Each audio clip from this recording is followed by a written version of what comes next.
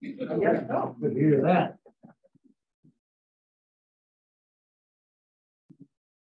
You uh, received evidence for your, your opinion? The County Board of Supervisors October eighteenth meeting notice and agenda was posted in the Government Center building in two places. Posted on the county website on October seventh, twenty twenty-two, and was published in a legal newspaper the week of October tenth, um, published on October twelfth.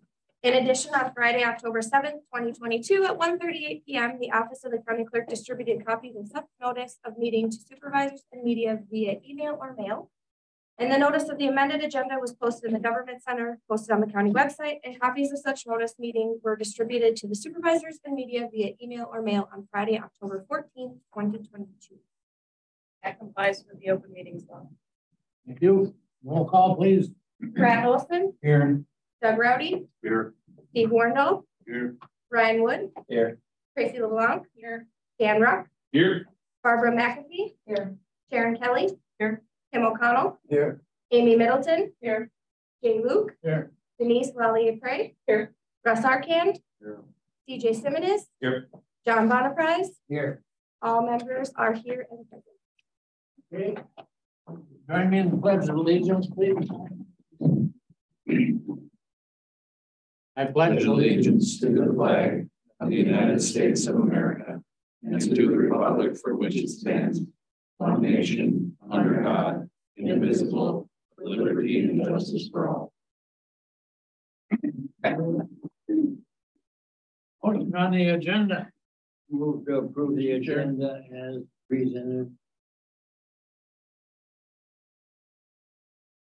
I would like to make a motion on the agenda to remove resolution forty-six twenty-two and send it back to committee.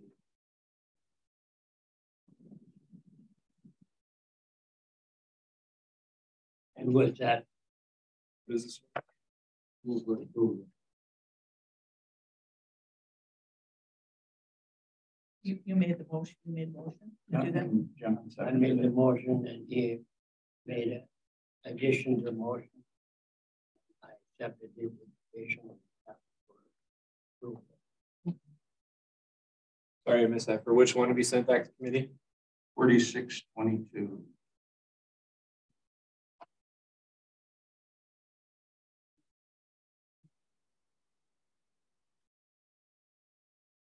I second that.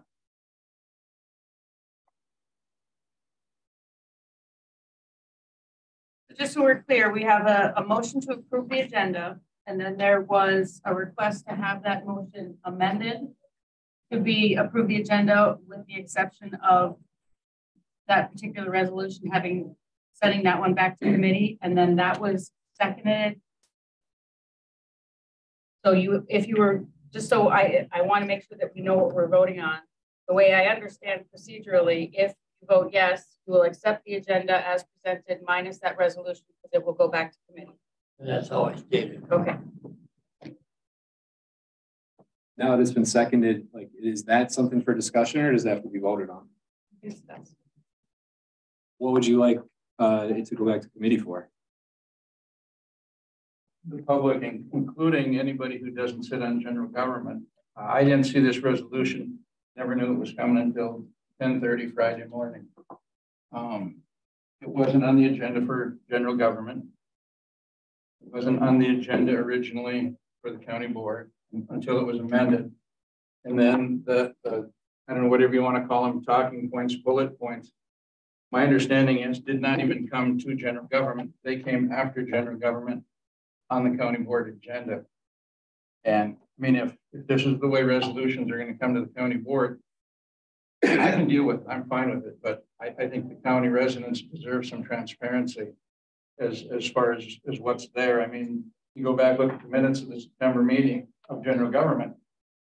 And it directed county staff to write a resolution to come to the county board. But it didn't come through general government. It needed to be handed out at, at the last second where no one could see it. I watched the general government right up until the meeting. It never hit the general government agenda. And it took until Friday at ten o'clock for it to hit the amended agenda. It isn't about if I'm for or against the resolution. It's about the process of how we do things. And if we're not going to tell the public what we're doing until two and a half business days before county board meeting and not before a committee meeting at all, we, we are in trouble. What is it that you're saying wasn't present? Because this issue has been talked about at general government multiple times. Were you at the last county board meeting? No. We also discussed it at the last county board meeting, And that this was, that this was gonna be brought up.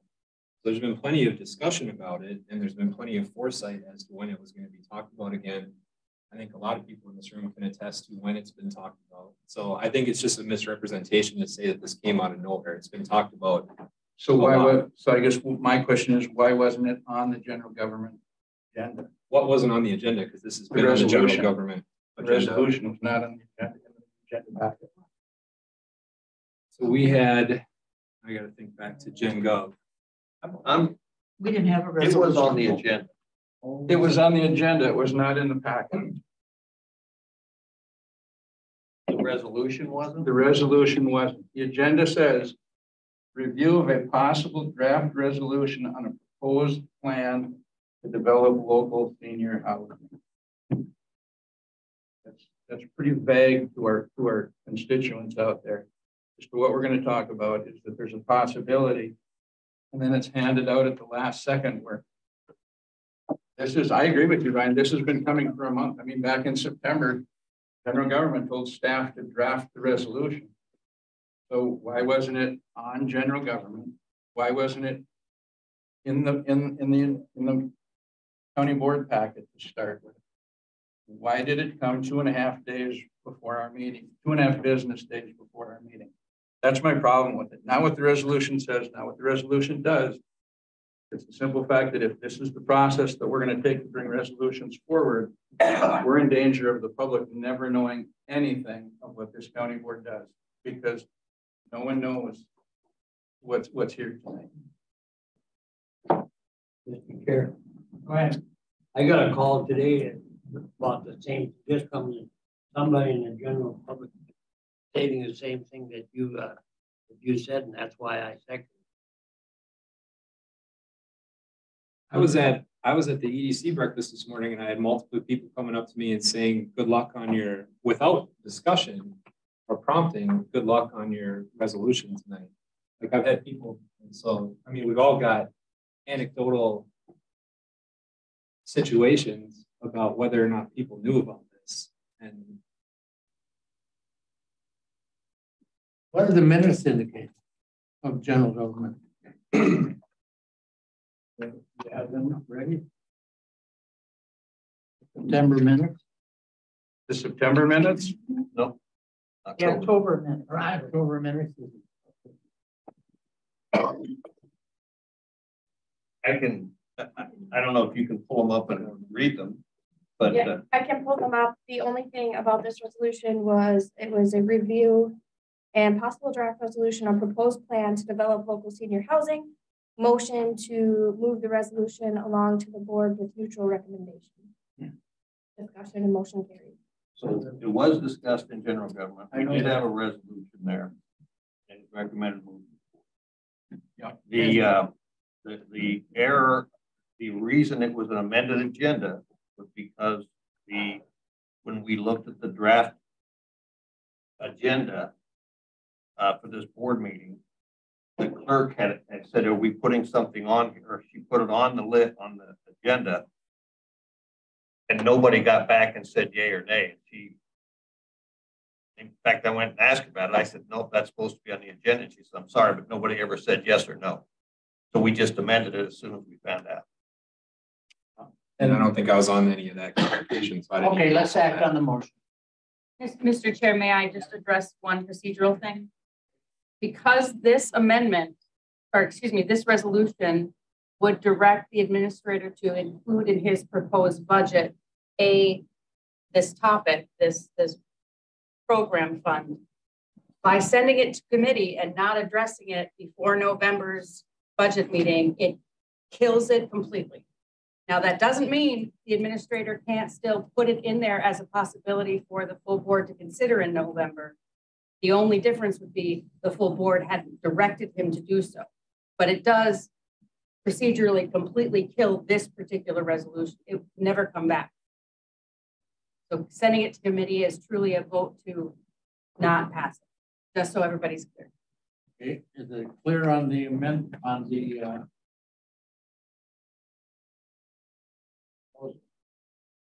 the status on that? We, it's asked to be amended.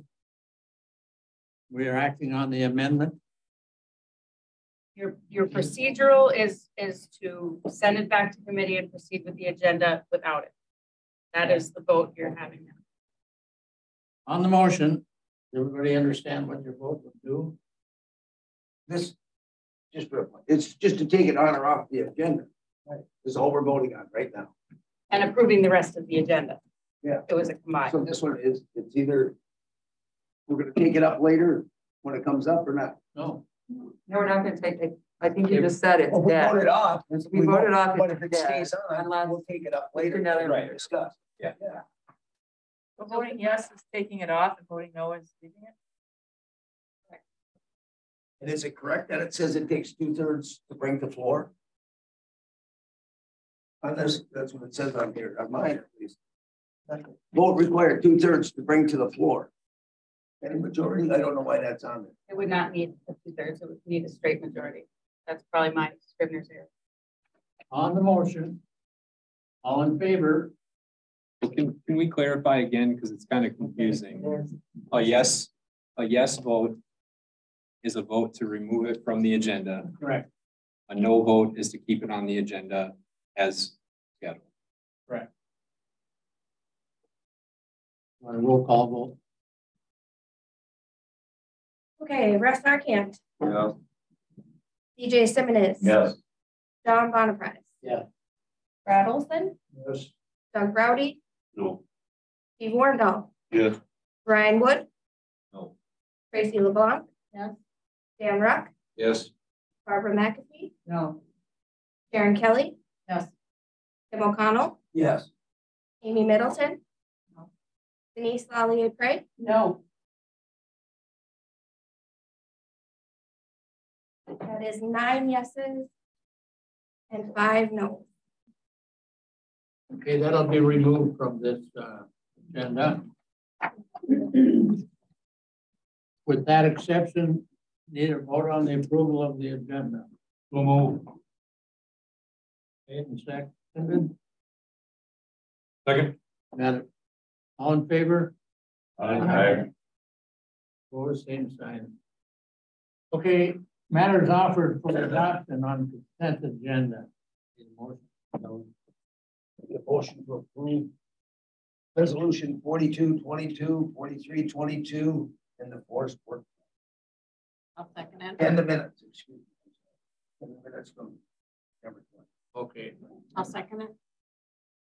motion made and seconded on matters for adoption of A, B, C, and D on the uh, agenda. All in favor?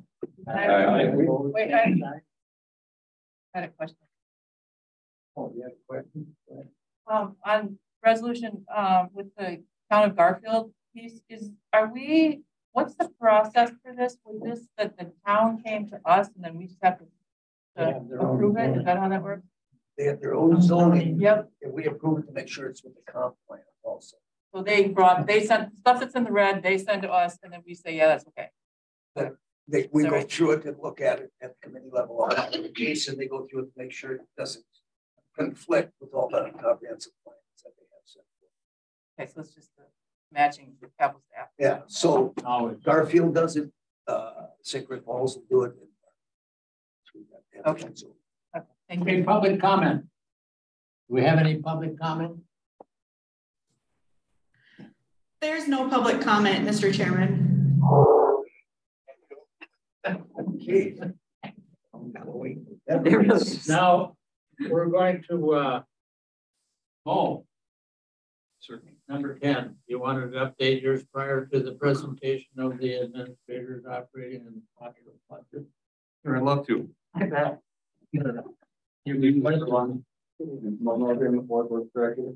Uh, just a quick update on the government center project. Um, the thing right now we're dealing with is we have no heat in the building. We have no AC either, but don't need that. Um, right now, we're doing temporary, uh, heaters in there right now, space heaters today. Uh, we have nine 50,000 BTU larger units coming in tomorrow to help offset the, the cold spots on that. Um, we don't expect the boilers to be online until November seventh.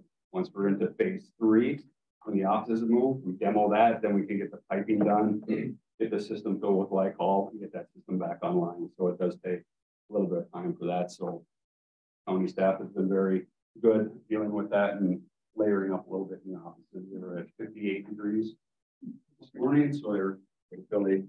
Um, other than that, we're still dependent on, uh, lead times on items. Our doors did come in finally and our door frames. So the moves for the offices are still next week for the second floor and then, uh, the week of Halloween for the ERC and the vets. So that is still on track for that. Um, other than that, we are moving forward with, uh, pouring the pads for the generators and the chillers outside. Um, we got the camera uh, system to run to the lights out front. So all that's in process. So that's that's the latest right now. Uh, still trending um, on the same on the budget. Is our November meeting gonna be at the, Uh, the HVAC is supposed to go, or excuse me, the AV is supposed to go in the boardroom the last week of October. The furniture is supposed to be installed the second week of November. All that being said, that works out, yes. So we're checking on you, Dr. Boy. Right, right there's the timing, so hopefully that the November meeting we can hold, hold in there. but Hopefully that. So you're saying we got. A yes, I have one. Kind of numbers are we looking at? What do you think the overrun's gonna be? We're still trending with Approximate two hundred forty-six thousand. over right now without phase two, you're two forty-six over? That's projected throughout the end of the project, of oversights that we're seeing right now. Which is, it- it's at that two to three percent. We will have some credits coming back in for temporary cooling. Um, that was in the budget that we didn't, uh, do that many weeks of temporary cooling. So we're still trending at two to three percent over budget. And that's over contingency or spent. Correct. That's all in. Any other questions? All right, thank you. Administrator, That was the quickest yet. All right, thank you. I will say that while it's been cold, people have been working hard to put together the budget and uh, warming up the room temperature a little bit.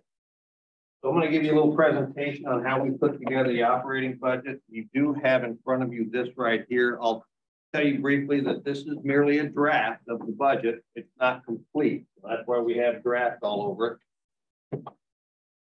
Keep in mind that uh, part of the reason it's draft, because anything we do or say in this room that changes what's been considered or proposed, changes all the numbers in here, changes many of them.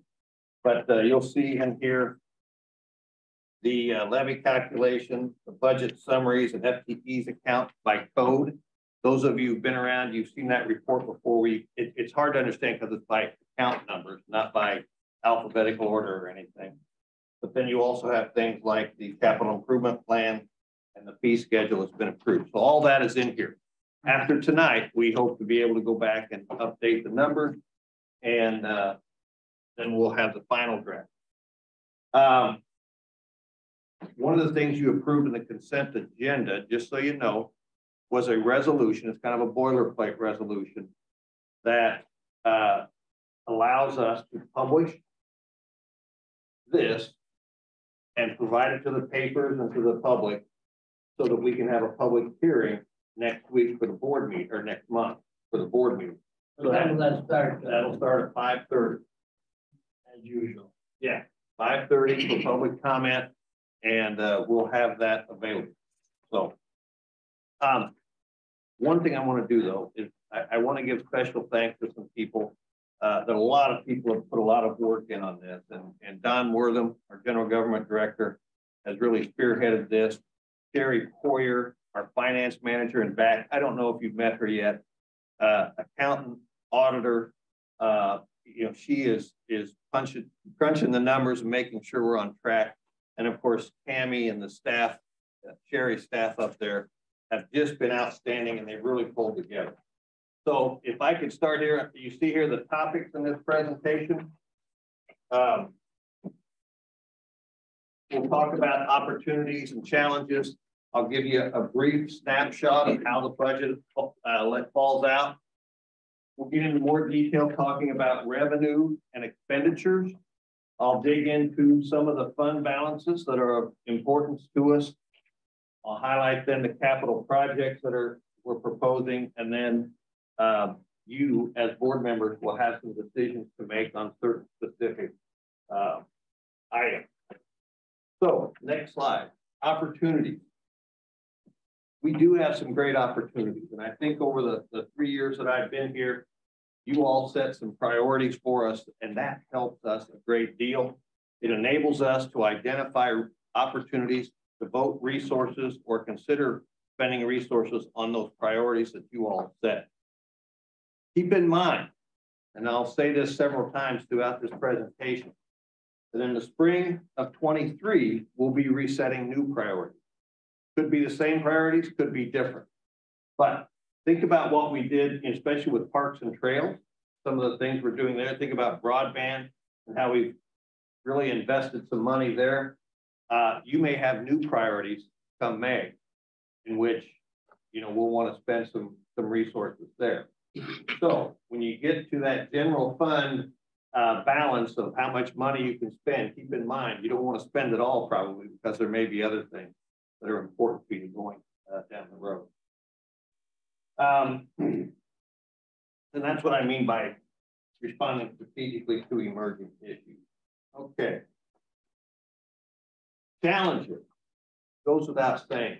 The economy is number one on a lot of people's minds. Uh, we know that the inflation has been something significant. We also now are reading about the likelihood of a recession coming on. So those are things that are in the back of our minds as we try to put together this budget. Another key challenge is how do we attract and retain workforce? We've heard a lot about it. We're in the same boat as a lot of people, but we have to make sure we're doing things not only from financial reasons, but also maybe some other benefits to help people uh, feel uh, successful, feel wanted, and, and have a rewarding career here. Can I ask a question about the workforce? Sure. Is there some place or way that we can see kind of where things are now?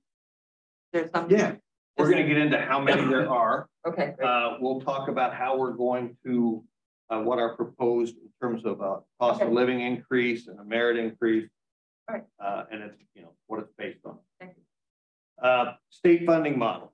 I say that because uh, you'll see some numbers in here comparing uh, how much money we have in terms of revenue coming from state sources, federal sources. It's gone down considerably. Uh, we expect that to continue. So that affects our revenue. And then just general budget pressures in terms of uh, inflation, cost of healthcare, those types of things. Not to mention uh, any organization is going to have shifts, right? An organization isn't like a hard metal object that never changes its shape. Over time, you're going to have some shifting from here to there based on current needs or priorities.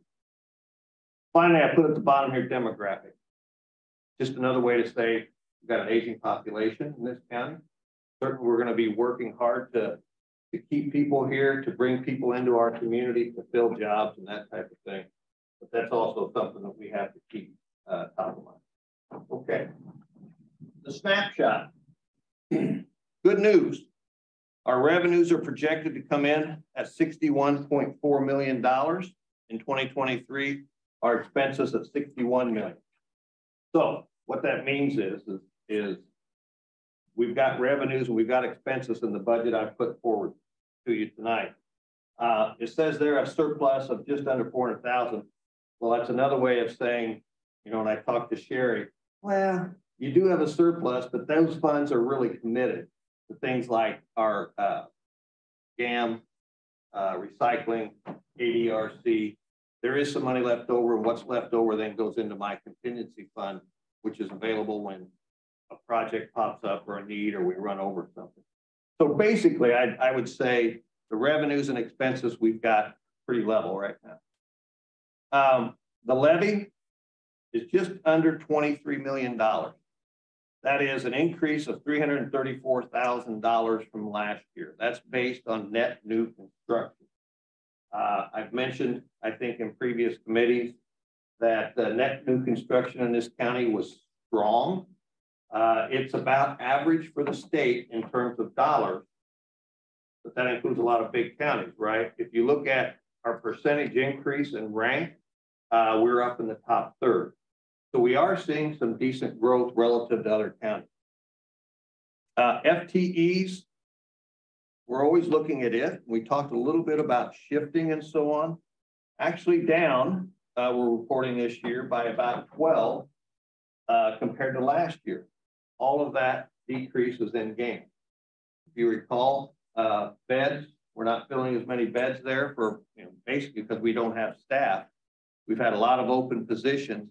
The new business model, we're working with them, is they're going to focus uh, on about, uh, well, they're at about 60 now or 58, and we may get that up a little bit, uh, but we don't need, we didn't have those positions filled last year, so we're reducing the FTEs there. And then finally, you'll see in this budget, we have funds in there where you all move toward priorities of your. So we'll get to that. Um, the next slide. Key budget figures. Total budget, 61.4 million in 23. That's compared to 68, or I'm yeah, 68.4 in 22. That's about a $7 million difference. Um, this is dropping down largely because of the financing that we did for the reconstruction of the building. So that money was put into our budget from our loan. And so that's not there this year. We also had uh, $2 million that we put in the book last year for the Clam Falls Dam. Again, when the state said we have that money, that's $2 million that we will transfer now into 2023. So it's just something to keep in mind when you see, hey, wait a minute, you're you're down $2 million. Well, you're still to transfer that money over to 2023. Um, so revenues and expenditures, you can see the projected surplus there. Uh, and then down below here, we have the mill rate, $3.34 per $1,000 in valuation. Now that's less than last year at 3.9%, or $3.3.90 for $1,000. But keep in mind, the, uh, not on there, our, uh, the appraisals of our properties have gone way up. So the revaluation of our properties have gone up significantly. I'll show you that. So it is kind of a mixed I, I had a, a old neighbor give me a pretty nasty text message the other day. He said, gee where's my house value went up twice. Does that mean my taxes are going up two times? No, taxes are going to stay basically the same when it comes to the county uh, because the mill rate will come down accordingly. okay, next, we're going to look at revenue. We can go on to the next slide. Um, equalized values, as I had mentioned, you can see the jump of about a billion dollars in equalized values in, in Polk County. Um, housing prices have skyrocketed, right? Most of you probably had your house reappraised this year. The appraisers were everywhere. They caught me at two houses. Uh, so uh, billion dollars, I think that's about, I calculated about 18 and a half percent increase. So the value of the county is going up. The next slide shows the mill rate, which just proportionally goes down. And that's why uh, the people's taxes, they'll see value their house up, but the mill rate which we charge or create their property taxes will come down to reflect that. Okay. Most of you have seen this before, how we calculate the levy. This is where Sherry's at her best, is they get that formula from the state and we have to calculate everything. We start here, 2022, the mill rate of 3.9. The equalized value that year versus the equalized value this year, you can see the increase 18.6%, and our mill rate has gone down. Um, the other thing I would point out, the net new construction, up 1.5%. My proposed levy is about twenty-three million dollars. Now you'll see there the additional allowable levy. That is actually from last year. We are in actually the previous years. If you recall, the last couple of years, in an effort to keep the taxes down, we agreed uh, to not use all of the levy.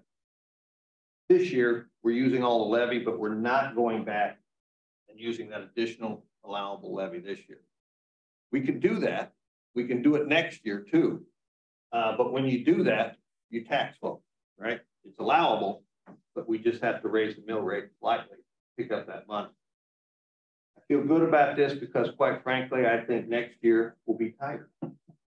So I like the idea of having that. If we need some funds, that may be something we can pull in to the levy next year. Okay, sales tax budget estimate. This is this is an incredible story. I mean, if you if you want to think about it, this has really helped the county uh, over the last several years. You can see the growth, the budgeted, what we budgeted, and the orange is the actual.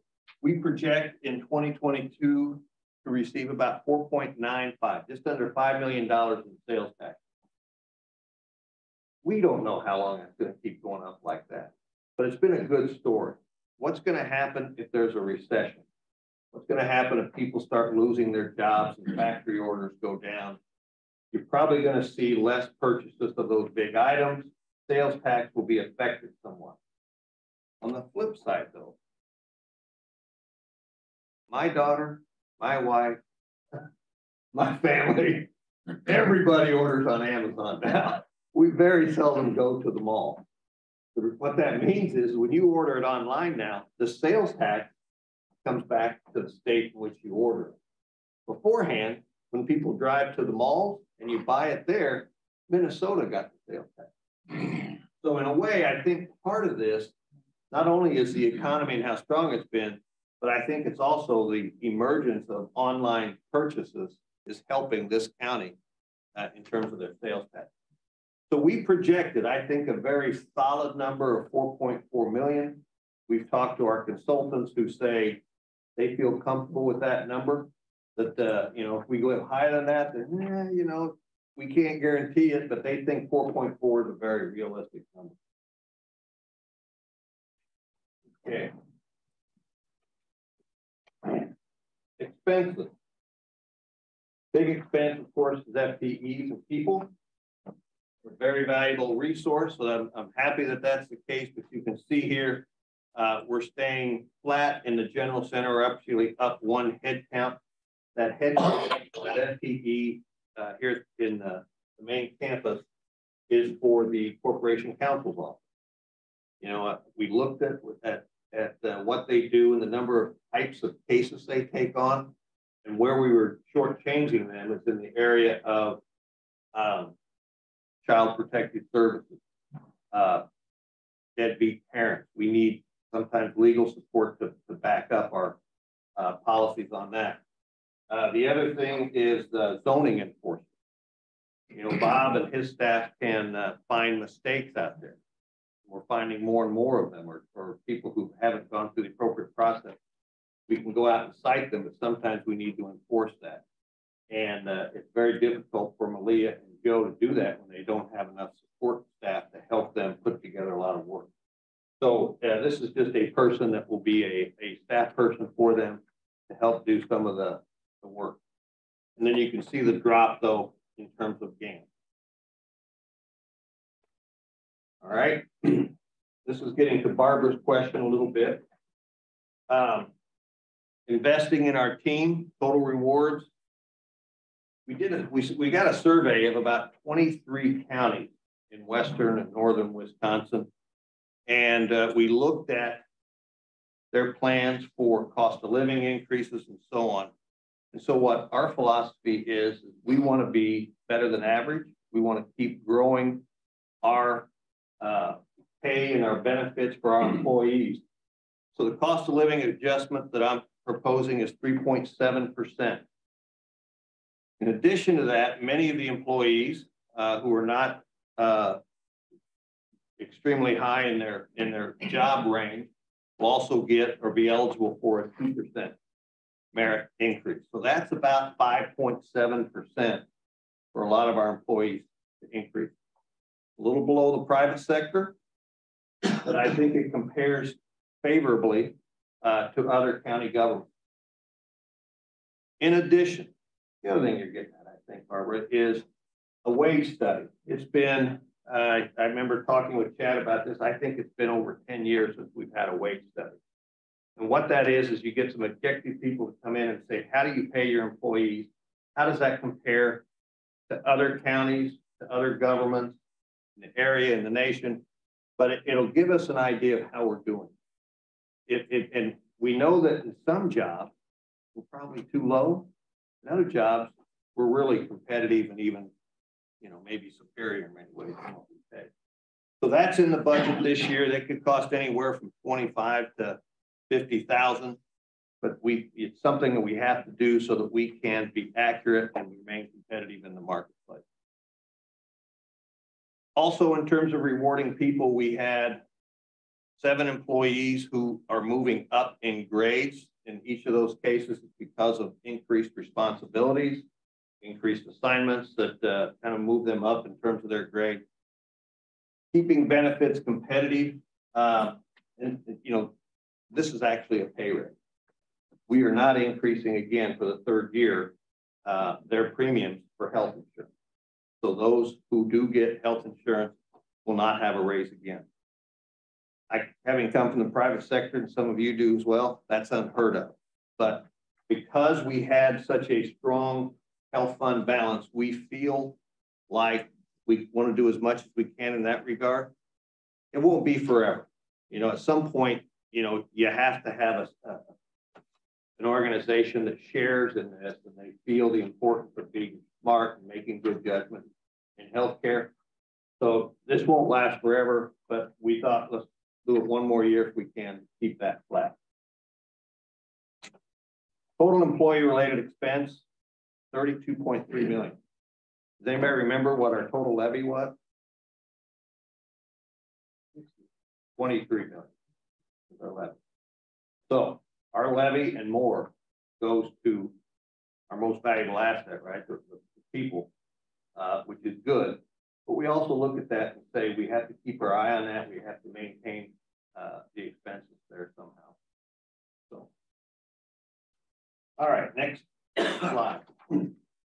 Now, one of the things we always talk about in this presentation are outside agencies. In the past, we were flush with cash. We had a lot of people coming asking for money for the first time, or they would come back and ask for additional money uh, the next year. Our feeling was we need to get some stability in this. We need to make sure that we're not just handing out money. These are all great organizations. Um, and some of them came and asked for more money.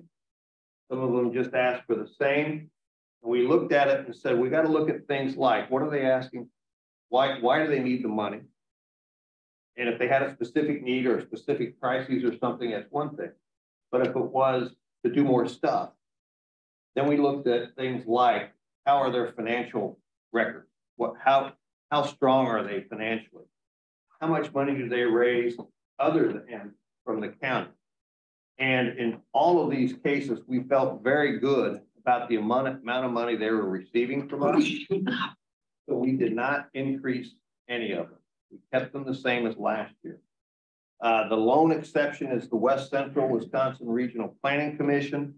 And that's something that is based on the census data. It's like a tax. Uh, it, when the state established these organizations, that you know they would get paid based on your population. And uh, with the census data went up a little bit, so did the amount that we gave them. Uh, you will notice on there, so the total expenditures, two hundred and seven thousand dollars for outside organization. One organization that came to us, uh, community referral agency. Outstanding organization, they do good work. First time they've come in, in several years, since I think Dana was the administrator. Um, and because, and part of that was because of our goals of keeping this thing stable and flat. Uh, I'm not recommending that we give them. Part of that reason is, is because they were probably the strongest in terms of finances. They have uh, a high percentage of donations from various organizations. Uh, they get lots of money from other sources. Uh, and so I like them. I want them to keep coming back, and that may be something we do next year, but I did not include them here. What do they do?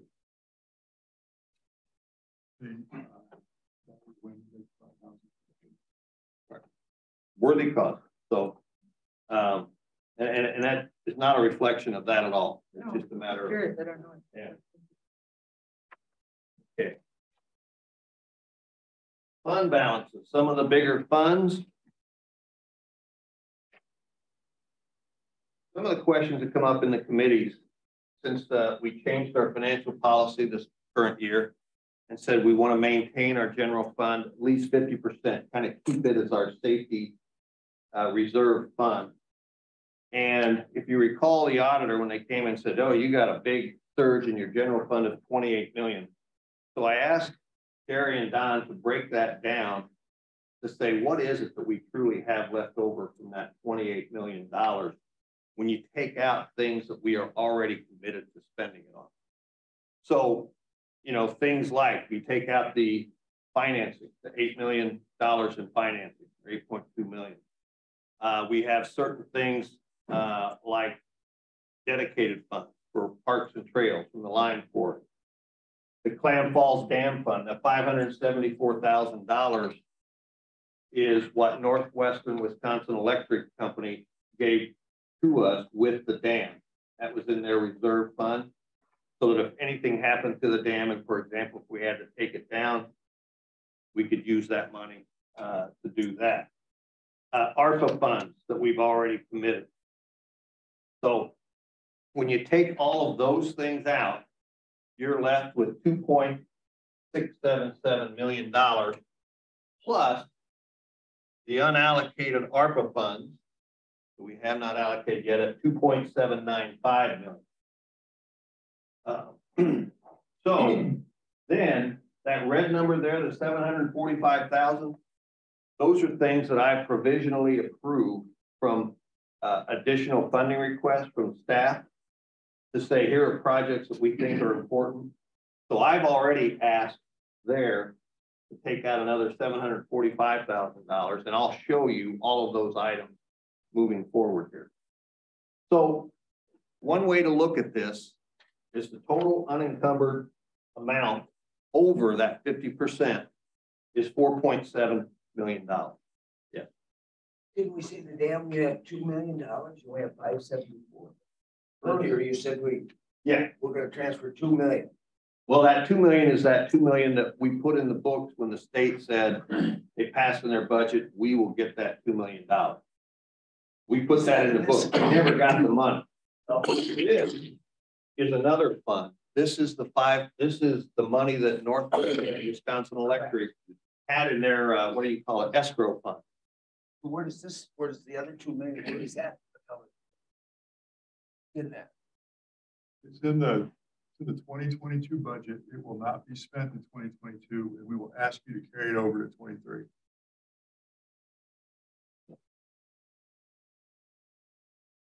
So, a theme. Thinking ahead. If, if, one might say, and certainly your choice, oh, we got four point seven million to spend. We're gonna ask you to think about, choose wisely, because you saw the challenges coming with the economy and you saw some other things. Our bias is choose wisely, not saying you shouldn't spend it, not saying you shouldn't spend part of it, but it's not that much. And, and, and we still have fifty percent in reserve. Remember that. So that's always there for an emergency. That's with two thirds vote, we can dip into that in the future. Okay. Health fund balance. If you recall, this was the fund that our auditors looked at and go, my gosh, you got time about eight million dollars or seven and a half million dollars uh, from money that has not been spent on, in our health fund, it's getting large. It was kind of a reserve safety net. So they said, really, you should get that down to about a million or a little less, is about all we recommend. And we can take part of that out each year. We've been taking money out of it, but the first two years that we did it, the, the fund actually still grew. We didn't take out enough. This year, in 2022, it looks like we're going we're going to actually dip into that a little bit more because we've had some cases where the expenditures are going to be high this year. So that happens. That's why you have this reserve fund. But in 2023, we're taking out a little bit more money than we had the first two years, $980,000. In essence, what happens, that gets reallocated to each of the departments who have employees, and it goes to pay for their health fund and those types of things. It saves them money. And it helps the county, you know, because then we can use those funds or use other funds elsewhere. So it's still there. The plan, if you recall, was for that fund to be depleted or not depleted, but down to that level of about a million after seven years.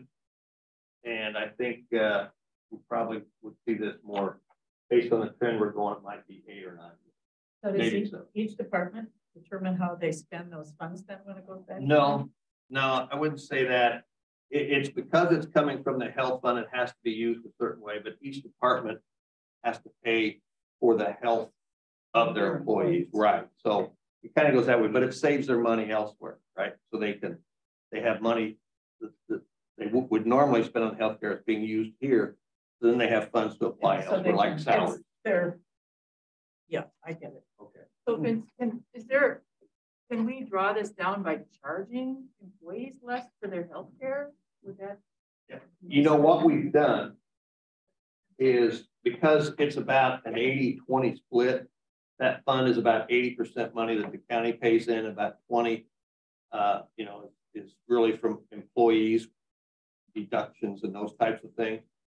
Um, we have done things like increase their health benefits, you know, orthodontia, uh, different types of coverage, better coverage, less premiums, less deductible. We haven't increased premiums. So we're giving our share to the employees in that way. And then the other fund, the eighty percent, we're using it, you know, for the county's benefit. Okay. Um, okay, next. Oh no, here we go. So the key takeaway. The good news is we have a balanced budget. Um, yep, things like higher equalized value, but a lowest lower mill rate, that's good. So taxes we expect to be relatively flat from the county. Uh, we did have a modest increase in our levy because of the net new construction mostly. FTEs are down, uh, which is good in the long run. And then uh, spendable general fund balance is about $4.7 million. That is something that, you know, if you see priorities you can spend on. Uh, I do have some recommended expenditures that have come to me that I look at and say, hey, it fits within our priorities. It's important things we've talked about before, and I've gone ahead and approved those. Okay, next page. Capital project.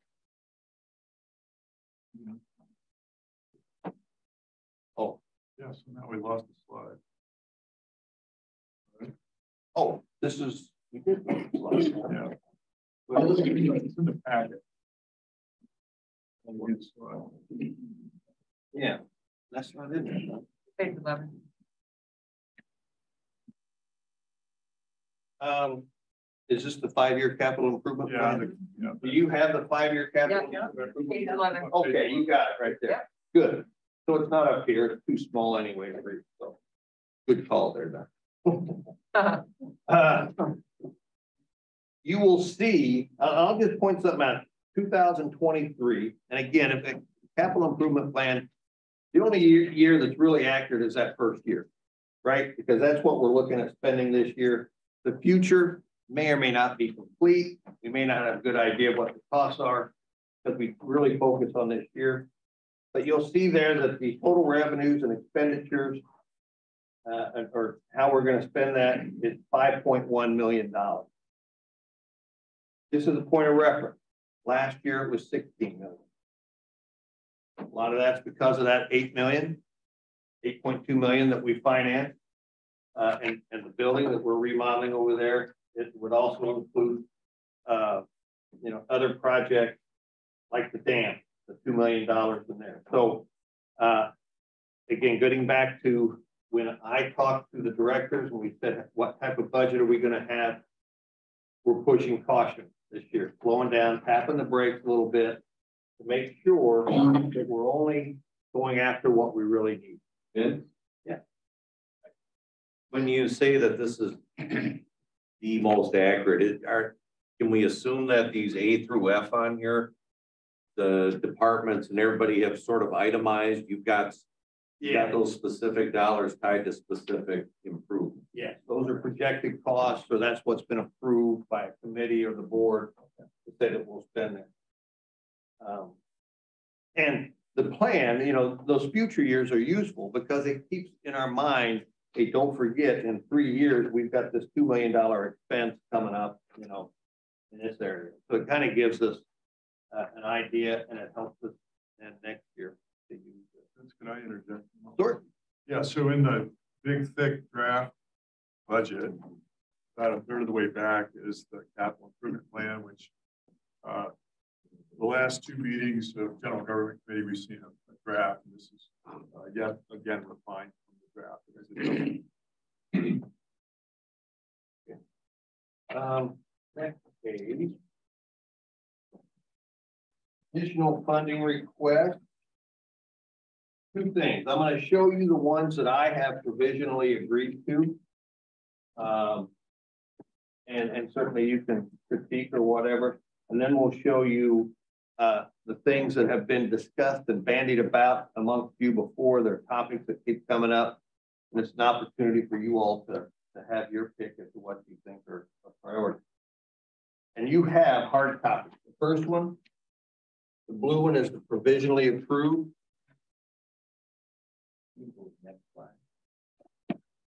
Okay.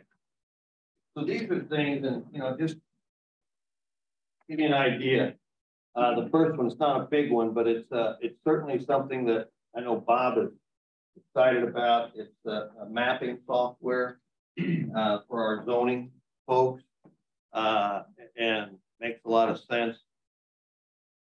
The treasurer, uh, she needs to upgrade her software to be in communication with the state. Uh, so that's something that, that I would highly recommend. Um, the third one there, the, the clerical support staff for corporation counsel. I've mentioned that earlier. And you can see, excuse me, the cost, the budget cost, and then what fund. So those first three like are out of the general fund. Uh, the next two uh, from IT, and you know Scott Good has been doing a great job. I, I mean, I just want you to know that we, he does a great job of keeping us safe, keeping our network safe, making sure that our equipment is updated. Uh, and I tell you what, he's really advancing our abilities to work in today's world. And uh, new servers, network switches, those are things that, you know, have to be done over time. And we're going to charge that to the asset recovery fund. And if you recall, that is a fund we have established. Uh, I think it's like a couple million, $1.2 million. But what it is, it's like, as Don calls it, a family loan. So that money comes out of the asset recovery fund. But because IT is used by every department in the county, they pay back over time that loan that they got from the asset protection fund. So really, it's a way for us to just use our own funds and get paid back, and it does not uh, cost the taxpayer any extra money. Um, but you can go down that list. Um, deferred maintenance projects, you'll see it here for facilities and here for parks. you know, we've talked about this and we're really, really committed to this because, uh, you know, that's why Mo wanted to stick around and enjoy this thing. He has a lot of demands placed on him to repair building equipment or whatever. And now we've designed this great park system and these trails and these parks. Oh yeah, we got to maintain them too. So we're starting to create a fund there where he will have a year after year fund. So he doesn't have to come beg for me, you know, all the time or from you. Hey, I need to repair the windows over in the Justice Center. You know, this is something that if it meets the criteria, he can do. Um, the generators, this is one that I've actually, one that, uh, well, you'll see here. They, the sheriff's department requested three for communications towers. We thought rather than pay it all at once, maybe we can divide those three generators over time, spread them out a little bit. But you'll see in, in an additional, something you can decide on is you'll have the flexibility to say, hey, let's buy all three at once, you know, but, but we, our thought is let's do one this year, one next year, one the following year. Because they are getting toward their end of life, but they're all functioning. So, New canine, uh, DD Kennedy pedestrian bridge. If you recall, uh, this has been a couple of years. We looked at that bridge, and if you've been out to DD Kennedy, there's a walking bridge that connects the park, right? You got trails here and you got trails there, but if you want to connect to them, you got to walk over the stream and the lake. Tracy's an expert on it. Okay. and we thought at first, could we repair it? But, uh, you know, Mo and people have looked at it and it's like, it's crooked, you're leaning sideways. Is that what happened to you, Tracy? holes for me, thank you. Yeah. So, uh, and DD Kennedy is kind of the flagship of our park. I mean, it's a beautiful facility. We're investing in it. Playgrounds, uh, buildings.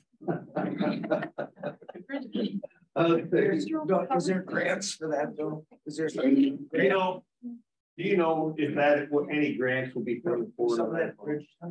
So we looked into the grants with DNR and it does not meet the criteria for a grant. Um, we tried, uh, last time to get a grant for it, would never reach a threshold for it. Um, DNR's response was it would be a very, very slim margin if we ever get it, but we'd have to wait another year to see if we get the money. And the chances are we would not. How about put a snowmobile on it?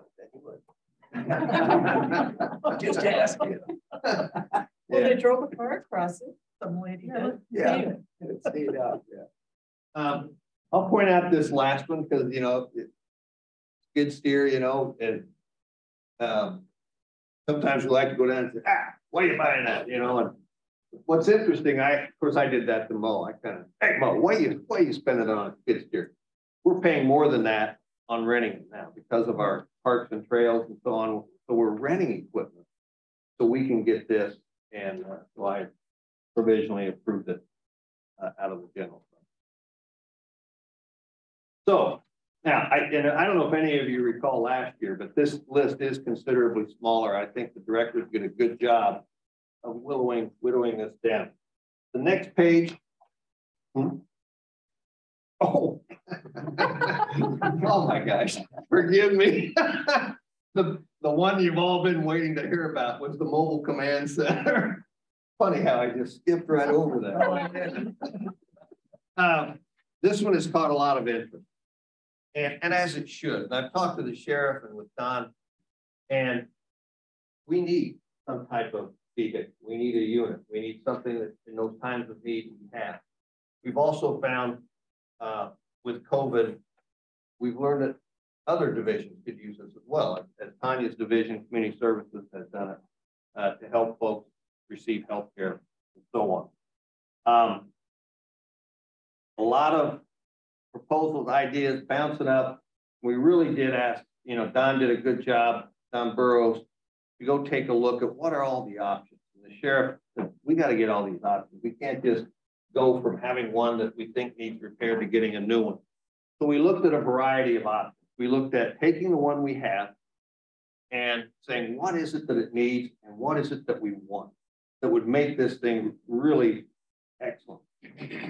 We then said, okay, instead of using ours, what if we found another one that someone turned in and, and a manufacturer dressed it up and, and made it to our, our, our liking? And looked at that cost. It was a little bit more money. We then said, do we really need a big bus type vehicle? Could we go with a, a trailer and a truck? And what would that cost? So that was a little more expensive. And then we looked at, excuse me, the new version, which was the one that we'd gotten a bid at like five hundred and seventy thousand dollars. Uh, Tanya, I, Don went for a ride in it. We looked at it.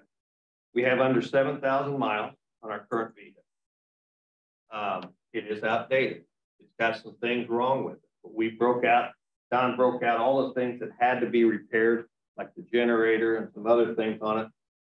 And I think the estimate now is like under hundred thousand dollars.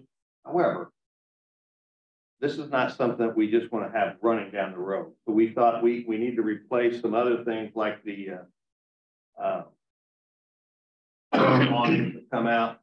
Wanted to remodel it because it's got a, a really unused restroom inside of it. We could take that out and make space. We could increase the size of a meeting room. And we looked at it and said, let's budget two hundred thousand dollars, and we can have that thing looking extremely good and being very functional, something we'd all be proud of. So my recommendation was to take two hundred thousand dollars from the general fund to start the repair work. You know, it's running now, under seven thousand miles. Uh, so the engine is in great shape. Uh, probably needs some tubes and things replaced. But I think between the two divisions, if we drove it on occasion more than we have in the past, I think we can keep that thing good for at least 10 years. So that was my recommendation. You'll see an option for you all later. If you want to do more, that will be up to you. Okay, thank you. Um, next, these are the things that have been discussed, bandied about, where you may say, uh, you know, we kind of give the menu for you to say which of these do we like, and so on. Um, first up there is the fair. Now, the fair, I think we have budgeted about fifty-eight thousand dollars, which similar to what we've done last year or this current year and the year before. But these are additional items that uh, we could do. Roofs, uh, a PA system, and a cooler. I'm assuming, Mo, that's the big refrigerator type cooler. Uh, for sixty-eight thousand dollars. And elect, that includes electrical upgrades too. It doesn't say it on there, but if you look Oh. at the actual Oh, capital improvement plan, it's on there for sixty-eight thousand. thank you. And that's on top of what you've already allocated, correct, Vince? Yes, fifty-eight thousand. Um, also, facilities museum, if you recall, we, uh, uh, projected about hundred and eighty thousand for the bell tower to redo that, uh, at the museum downtown here. The bids have come in lower than that, you know, like hundred and twenty or so, 115, 120. So we thought one option would be to use the leftover funds for, uh, the windows and to uh, remediate the coal room. Because those funds already came out of, those funds are already allocated from ARPA funds, that hundred Yes. and thousand. And, does that, is that windows and remediate the coal room, or does that include the vestibule thing too? Because, Should include the vestibule. yeah. Yeah, because the, on the capital improvement plan for twenty twenty-three is the remove cold room and twenty-eight thousand for the uh, vestibule on the north side. Um, the windows, um, we, that, that's part of the, uh, bell tower. Renov, you know, the windows are for the bell tower, that we part of that bell tower renovation, so I don't know if that's already funds that have been allocated. Well, I, I don't, the funds are in the general fund right Yeah. now. So when we got the bid that came in lower. Yeah. You know, the question is, well. Yeah. We, we don't automatically just Yeah, say, oh, no. I know that. Yeah, Oh, I know that. But, so this should say this doesn't include, it includes windows and remediate cold room.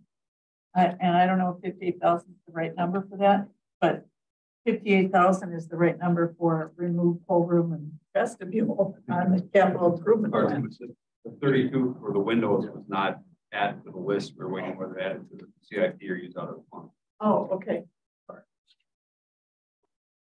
So somewhere that has to be, that thirty-two thousand should show up somewhere. Okay. We can add that. That's for the window. Okay. If, if you want, if you all choose to do that. Yeah. Uh, Yeah, just so I'm following, is that fifty-eight thousand? So the hundred and eighty that was allocated from ARPA funds to the bell tower project. Are we not looking at that as hundred and eighty? We're looking at as hundred and ten or whatever it is. now we're looking at what the actual cost is. So that money, because all that ARPA fund has been, it's just sitting in our general fund, it's just there. Right. So we're, I'm earmarking it so that we kind of know this was money that was given to us. And, and I, some of you have said, hey, I want to know what, what, what is there from that. And we, This, this just isn't in addition to that. This is basically saying like, Right. Yeah. And we didn't know about the window bid until, for the bell tower until later. So that's why that wasn't part of the original ask. Because we didn't, we thought it was gonna be hundred and eighty just for the structural stuff. I included in here, um, per the resolution that we did not discuss. The, uh, the one point five million for senior housing, uh, and that proposal. And Malia, correct me if I'm wrong, but that's something that they could still vote in to this budget. Yes. If you chose to. Um. Oh, the next one, if you recall, Mo made the presentation and talked a little bit about an enhanced roof on this building. We're due for a new roof here. And I think uh, the added cost is five hundred thousand dollars. I did not put it in the budget. Uh, it takes it from a twenty-five year warranty to like a forty-year warranty, I think, something like that. Um, my feeling is five hundred thousand is a lot of money. Maybe not to Jay, but for us it is. And, uh, no, it, it's seriousness, we just thought we think the 25 year warranty might be good. The 40 year, yeah, you might get a better material or something. It may have some repairs you got to do once in a while and the other one. But we don't know exactly what this building's going to be like in 40 years. So, 25. What was the total cost, Eddie? Two and a half? Was the original one and a half? Uh, 2.1. Payback over the years would have been an additional two point something. So. Avoided maintenance or? Avoided maintenance and the longevity of the roof lasting that much longer without an extra roof repair, um, twenty years down the line. The uh, generators, I mentioned the generators for the communications towers. Uh, the original request was for three, we did one, we'll do one the next couple years. The only thought here is when you think inflation, whatever, would it make sense, you know, if we see you know, whoa, these prices are gonna double in the next year, well, do we go ahead and buy it? So I put that on here as a, an option if, you know, if we wanted to spend that money. And then what I call the enhanced mobile command center, well, I budgeted two hundred thousand. If uh, this group said, hey, I think we should go for a different version, it would be up to an additional three hundred eighty thousand. Now, on the horizon, I put down at the bottom here. Again, just as a reminder, well, the money's there now, and we can look at that and say, geez, we got four point seven million, we could buy all those things there and go home and be done with it. But I again say, keep in mind, you're gonna have new priorities in May. We also know the recycling center upgrade, which we, from ARPA funds, we allocated one point six two million dollars. That will do some things, but it won't necessarily get us where we want to be on recycling. Uh, we're, we have not done a business plan yet on that, but we are getting a consultant and they're recommending probably another one point six million or so, right, Mo? So, uh, that may be something that down the road, you may decide, let's do that. Also, I throw in campus improvement. There are things that need to be done. We know coming up here pretty soon, like the repaving of the parking lot. We fix those cracks about as long as we can. It's now getting to the point where pretty soon we're gonna have to redo that parking lot. It really needs a complete re- Um, there's been brought up that, uh, there could be a uh, solution for snow-covered fleet cars. You know, a parking garage or parking, uh, uh, ports. Uh, the old jail, what do we do with that? Do we need to dem- demolish it? Use it for storage? You know, could we do, one of the things we talked about too is enhancing the overall campus, so to speak. Uh, you know, when you look at what do young people look for in a place of employment, you know, they want to be able to move around. They want to have a sense they're on a campus or whatever. So might be some things we can do. We even talked about, you know, having a lunch pavilion or a patio. Wouldn't be real expensive, but out to the side of the building to let people go out, either have a meeting or have a lunch or something outside. Those are the types of things you can do. And of course, you know, we talked about the sports complex, if in the event somewhere down the road, we want to invest in that. That's just the things right off the top of my head where we said we may have some future projects that could be expensive. The fair, the, the grandstand, you know, those types of things may come up. So keep that in mind when you look at your menu here and say, this is what, you know, we should do. I got a question. Um. I can't remember how much was of the ARPA funds is allocated towards um internet with Lakeland? One point one million. Okay, and was there? I had heard through talking to somebody at Lakeland, is there any truth to the possibility that that's coming back to us? That it never left us for one. Uh, but I mean, as far as how we've got it Right. earmarked is allocated. Right. Probably uh very shortly, if not this year, early next year, we will probably recommend either a change in that resolution on how those funds are to be used, or we can reallocate those funds. Now, we've made great progress on broadband. Uh, I mean, our county, our mapping that we did set up where our areas of biggest need, and then we got those areas of biggest need addressed through a grant process. I'll say that part of the reason we had success with the grant process, or Lakeland did, is because of the partnership that we demonstrated by saying we'll contribute up to this much money to help in that. Lakeland has said, thank you. Your support helped. We got the grant. We may not, we don't necessarily need that money. Not that they don't need it, they'd like it, but the five hundred foot drop that, that, that we put in the resolution that they had to pay up five hundred feet drop, they said makes it cost prohibitive. Their feeling was that it would cost more than what they received.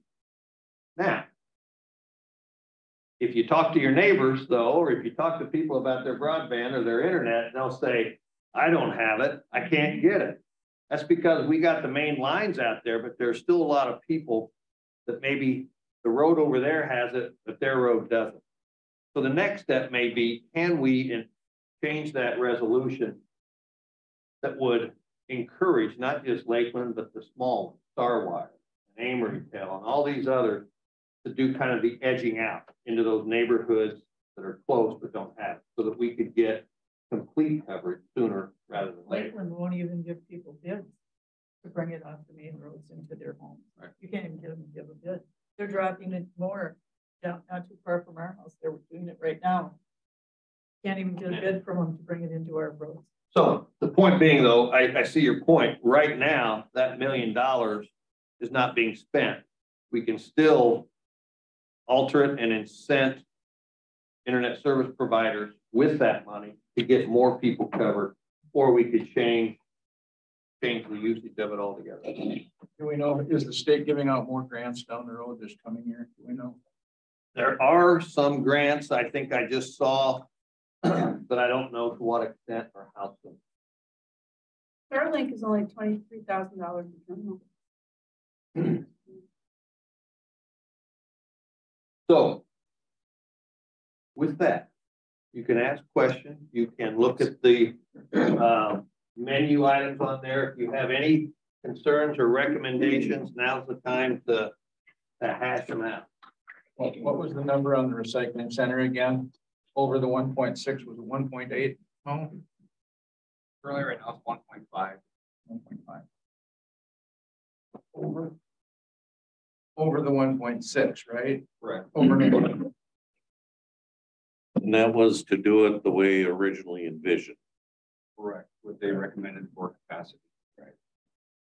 And I mean, we addressed that back in resolution fifty-four twenty-one.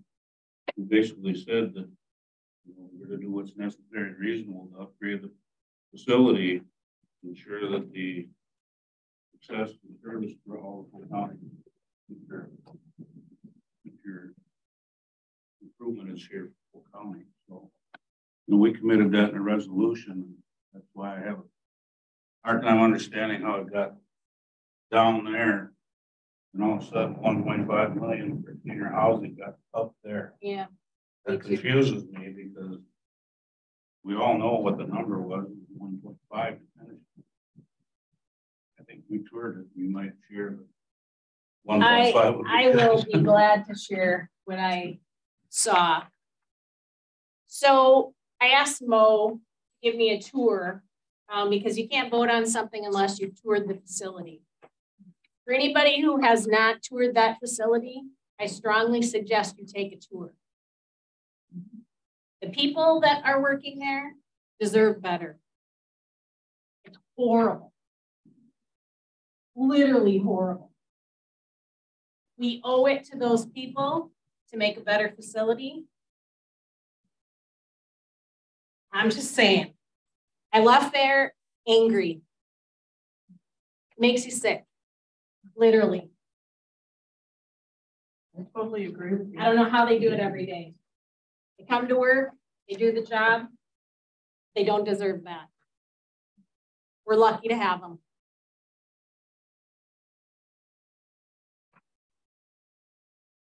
And it's, a- it's, a- the whole thing is an eyesore when you, you It come into the county, and you drive down the main Yeah. highway Oh. eight, and it's awful, the whole thing is Oh, awful. man. Main Street. My question is, any of this take in any of our overrun? Because we already know we're going two hundred and forty-six over on the building right now. Uh, is there any other overruns? Did Mo have some of the vehicles? Uh, did we, are we budgeting up a couple dollars a gallon for fuel? That isn't gonna come down. For snow removal and stuff, is that in here already? Is that built in? In, in most projected budgets for equipment, and so on, those costs of those items. But how about the ones this year bought? Did They go over too? Well, did we, I don't know what we're getting this year, but I don't think. Did any of those? I thought he got a couple. No, Plow wait, trucks. you mean in twenty twenty-two, yeah. Yeah, So, those overruns are. right, so the overrun of the building, which now we're projecting two hundred forty-six thousand. Um, we do have a couple of fleet cars coming in. Are they over? Those are not over. Um, the highway overages for the heavy equipment and trucks. Um, I won't know the over or under that until I see my revenues at the end of the year. Um, whether I can cover those costs or not.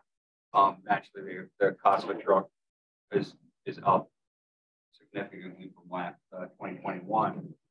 Um, but we're just, um, we won't, we just, uh, received the chassis from twenty twenty-one building those trucks. So we're still out eighteen months on a truck.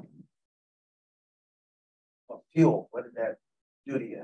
Budget, thirty percent on the fuel part? Fuel is, is, um, fuel is calculated as an inventory item. I don't, I don't have a line item that I just buy fuel and increase that line item. Um, it's based off of, um, when we, when we do work for others and ourselves, we charge ourselves equipment rate. That rate is changed quarterly if fuel moves two percent or more. So in theory, you're supposed to recover that fuel cost back with your charges back from equipment. Um, but there's a lag in that. So it's done every quarter. So if it jumps over two percent, the state adjusts those rates and get that money back.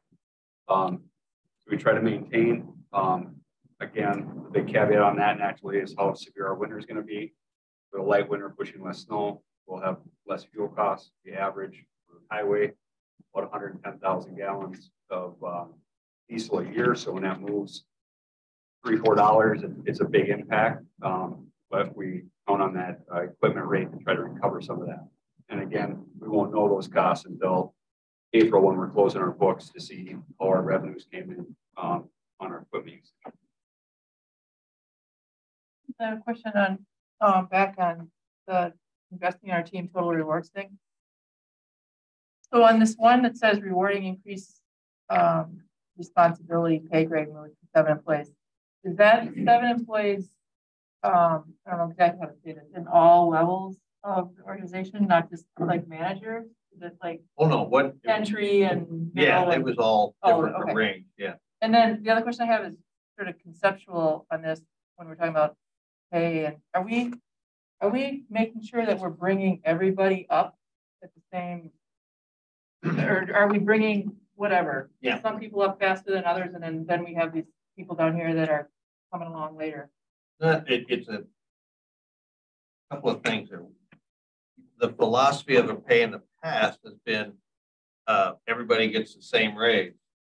Okay, moving forward, till you get a certain part, get up to a certain point above your, you know, up in the upper echelons of your range of that job.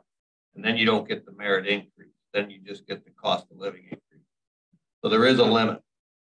So I know, uh, one thing that has been suggested, because you might have a young person that's very good in their, not young, but say a newer person, very good in their job. And they don't, uh, they're not making nearly as much as someone who's been in the job for twenty years. Now, some would say there's good reason for that, and others may say, hey, if they're doing the same job, should they be closer? So there are some things that, that we will consider for next year. Uh, to set, you know, instead of that two percent merit, maybe the people high up in the range uh, only get a one point seven percent merit, and those down in the lower hands, if they're doing a good job, to get two point three percent. So there are some things we can do. We're not ready to do that yet. Uh, one of the things that this commit board asked us to do last year was to develop a uh, bonus structure, a performance award. It's a way to recognize those top performers and get more money regardless of, of their job or their uh, experience or whatever. And we've been working on that. However, what we found was that we are not ready to do that until we have a good performance appraisal system in place. Something that, and, and we coach our folks so we can differentiate performers and can proudly say and, and boast about uh, to our colleagues, this person deserves more because they did the absolute best.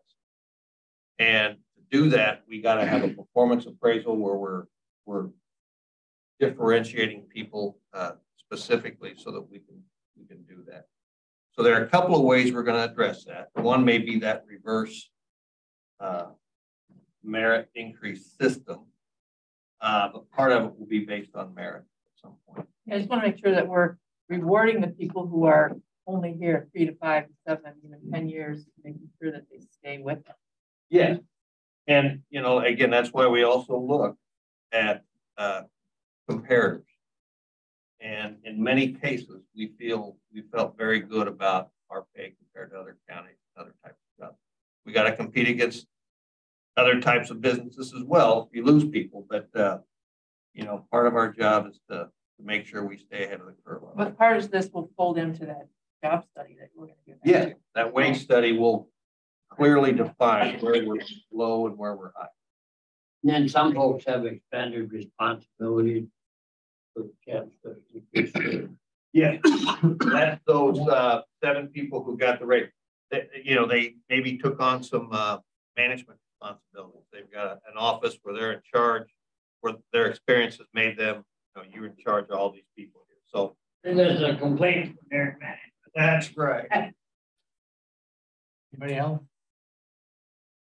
Go ahead. So realistically, I think you said there's about four point seven two million that's room to play with above the fifty percent. So the two hundred and forty-six thousand that we're budget, that we're thinking we're over on building. Is that quarter of a million gonna lower that number? When that gets paid, because this is what we have, and if we're, we're two hundred and fifty thousand over on the, on the building project, we're really only looking at four and a half million dollars, because that two hundred and forty-seven thousand is gonna have to come from the general fund. No different than if Mo is over on highway. That if any other department is over anywhere, that's gonna come out of this four point seven million realistically, before we spend any of it anywhere else. It's gotta cover the overages of twenty twenty-two. Regardless of what department. It's That will probably be paid, yes, in two thousand twenty-three. Right. All right, Anyone else, or do you want to call me on my error?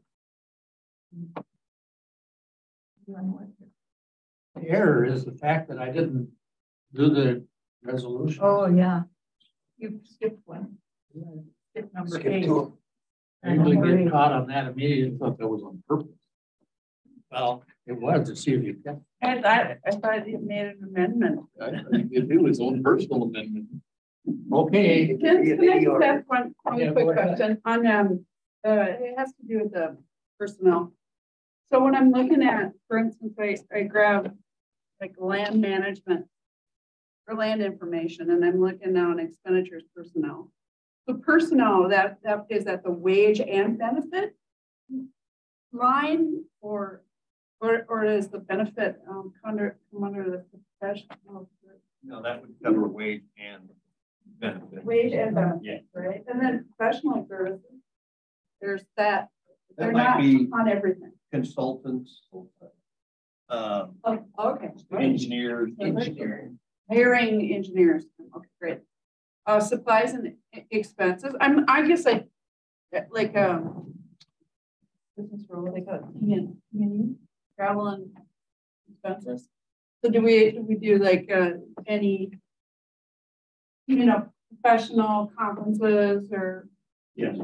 Each of the directors may include that in their budget to say we want to develop our, you know, send our certain number. or of education? okay? Yeah, we do. We still, by the way, the uh, included, we started it last year was the tuition assistance program. And we budgeted seventy-five thousand last year. We did not spend that much. We've actually lowered that this year, but we did have several employees take advantage of it, and we feel good about they're getting it in degrees that are relevant to their jobs or expanding their opportunities. So we think it's a good investment. So those are discretionary funding that is controlled by the department heads? Discretionary. Or, There's a no slush fund. well, I, I didn't say that, but you got in my head. This is Um, Because I just don't see, I don't see where that. Yeah. like That could follow it on here. Yeah, I, I think, uh, it, it, it's in there somewhere where they're, you know, you know, I have a, uh, contingency fund, whatever's left over. Um, and, and I've used it in the past where an issue comes up, let's say, uh, the trail in Sterling or the ATVs, UTVs. If, if something came up quickly and said, hey, we gotta have somebody go out there and draw a path for us in my contingency fund, I could say, hey, I've got enough money. It's within the certain guidelines of how much I can spend. I can hire a consultant to go out or do an RFP and pay him to go out That's always been there. and do that, yeah. So that's just the money that, that I, Chair, got one more question. Right. Since when do we, when do we thrash out these numbers? right now, This is it. Yeah. So we gotta do this tonight. right? You, if you see something that you want to pay for, or if you see something you don't want to pay for now, it's the night to do it. Because the changes you make here tonight, we insert into these, this document, we retype everything, re-input everything, I guess, showing my age. Um, and, uh, and then that is what gets published, and we have a public hearing on it next month. Will we entertain motions for changes now? Yes. I'd like to make a motion that we, uh, fully fund the recycling center to the point of one point five million dollars. to Complete the project, just like I was telling one of my fellow board members, just can't believe the way we leave stuff half done. And you come back to it all the time. So I'd like to make a motion that we take one point five million out of the general fund, which should be ARPA funds, will be available, correct me if I'm wrong. ARPA funds are available for that as well. And yeah, it, it's basically general fund, but we put an asterisk by a certain. Right, amount. so that's, that's included in my motion that, that not come out of the general fund, be, be out of our. A motion, I'll second that. seconded. Any more discussion on it? I'm gonna, I'm gonna ask, is that, was that in our, uh, resolution already though, too? Uh, the one that I read, Yes. it just said in the resolution that, uh, the way it read, whereas capital improvements, maintenance improvements could be made using first, uh, undesignated funds, uh, without impacting the county tax. And there, then it goes, therefore, you know, we commit, the supervisors commit to using ARPA funds for the necessary and reasonable upgrades to the recycling center. I mean, we didn't realize what the cost was gonna be when we put the one point six two in there. The first, But- the Yeah, the first, first yeah. one, but now we know what it's gonna be, uh, and it's right here, we told the people that's what we're gonna do. So, And, You know, I, it's a little fuzzy, though, additional one point five. Right now, we're in the early stages. We haven't, you know, this is what they're projecting, so obviously it could be a little higher, it could be a little lower. I don't know if I can roll that all into one motion, but, I mean, generally, that's gonna get us to where we have the right volumes, the storage, and all the stuff That should be that full we talked about. Could you just have a not, not to exceed number? That wouldn't work, right? Yeah, I just put one point five. So I don't know what the. That's gonna be exceed number would close. be. You know, all we can do is go by what was research. You know, and he's consulted now with people and they've given these numbers and that's. what we go by. So you're comfortable with that, Mo, that between the one point six two and the one point five, that's gonna take care of it? Pretty much. That'll get the building expanded to what we need, yeah. A new sign out front? Katie said she'd do it for free. Mr. Chair, call for the question. On favor? Aye. Opposed, same sign. Here, Just one of them. Any more? Anybody else? Just in case, I just want to clarify, so, well, you'd said earlier that with regard to the senior housing resolution that that was essentially dead as a result of that vote. Is that after tonight and this is the opportunity? This is your opportunity, Okay, and then if not tonight, right, because that other resolution can never come back. That resolution was really just formalizing a vote if somebody were to make a motion like this. a resolution. Different resolution. right? Mm-hmm. While you're thinking about that, can I just ask a question? Vince? Okay, can we go back to the command center? So for two hundred thousand dollars, are we getting something that all the directors say works for their needs? Yeah, well, the, With the two directors, Remodeling the existing. yeah, thing the two directors that went through it, you know, and, and they, they expressed to me, yeah, I agree with this, can we change this and, and, but the first nine hundred thousand was simply the mechanical stuff. Nine hundred, nine Nine hundred. hundred. $90. Or nine- I thought- ninety thousand. Few zeros in it. Um, and, yeah, I think, I think we will have a very fine command center. okay. Yeah. With vintage license plate. Yeah. We can do that. Go ahead. So I'd like to make, make the motion to, uh, I would like to move the, uh, fair facilities, the roof, the cooler, the PA, and, and I think the electrical was included. in that. Uh, I would like to move that, that we do that, put it on, The fair one?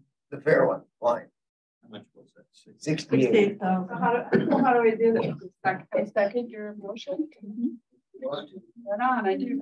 Just a little feedback on that. Uh, You know, the PA system warns everybody if there's a storm coming, they had it, they had, it, they went through that here a couple of years ago. And just not clear on the ground. I mean, you know, people aren't properly warned there.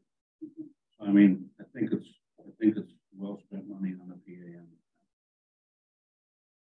At the, um, uh, the Wisconsin or the Polk County, did they say that was called again? Tour, Polk County Tourism Conference. The fair came up as the county jewel. Okay, so, um, in addition to PA for safety purposes, um, you know, announcing events and stuff like that is important and, um, and I, I, I just, I just think it's a, it's just positive all this, uh, you gotta feel good about spending money. This is, this is where you, where it's gonna increase tourism. It's already a jewel, so let's keep it that way or make it better. Mr. Chair.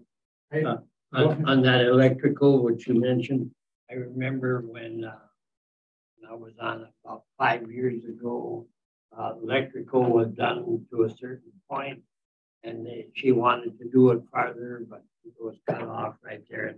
So that electrical uh, mentions that's in there, that's something that was already planned, and now we can fund it and finish it. Vince, are you clear on what, is there?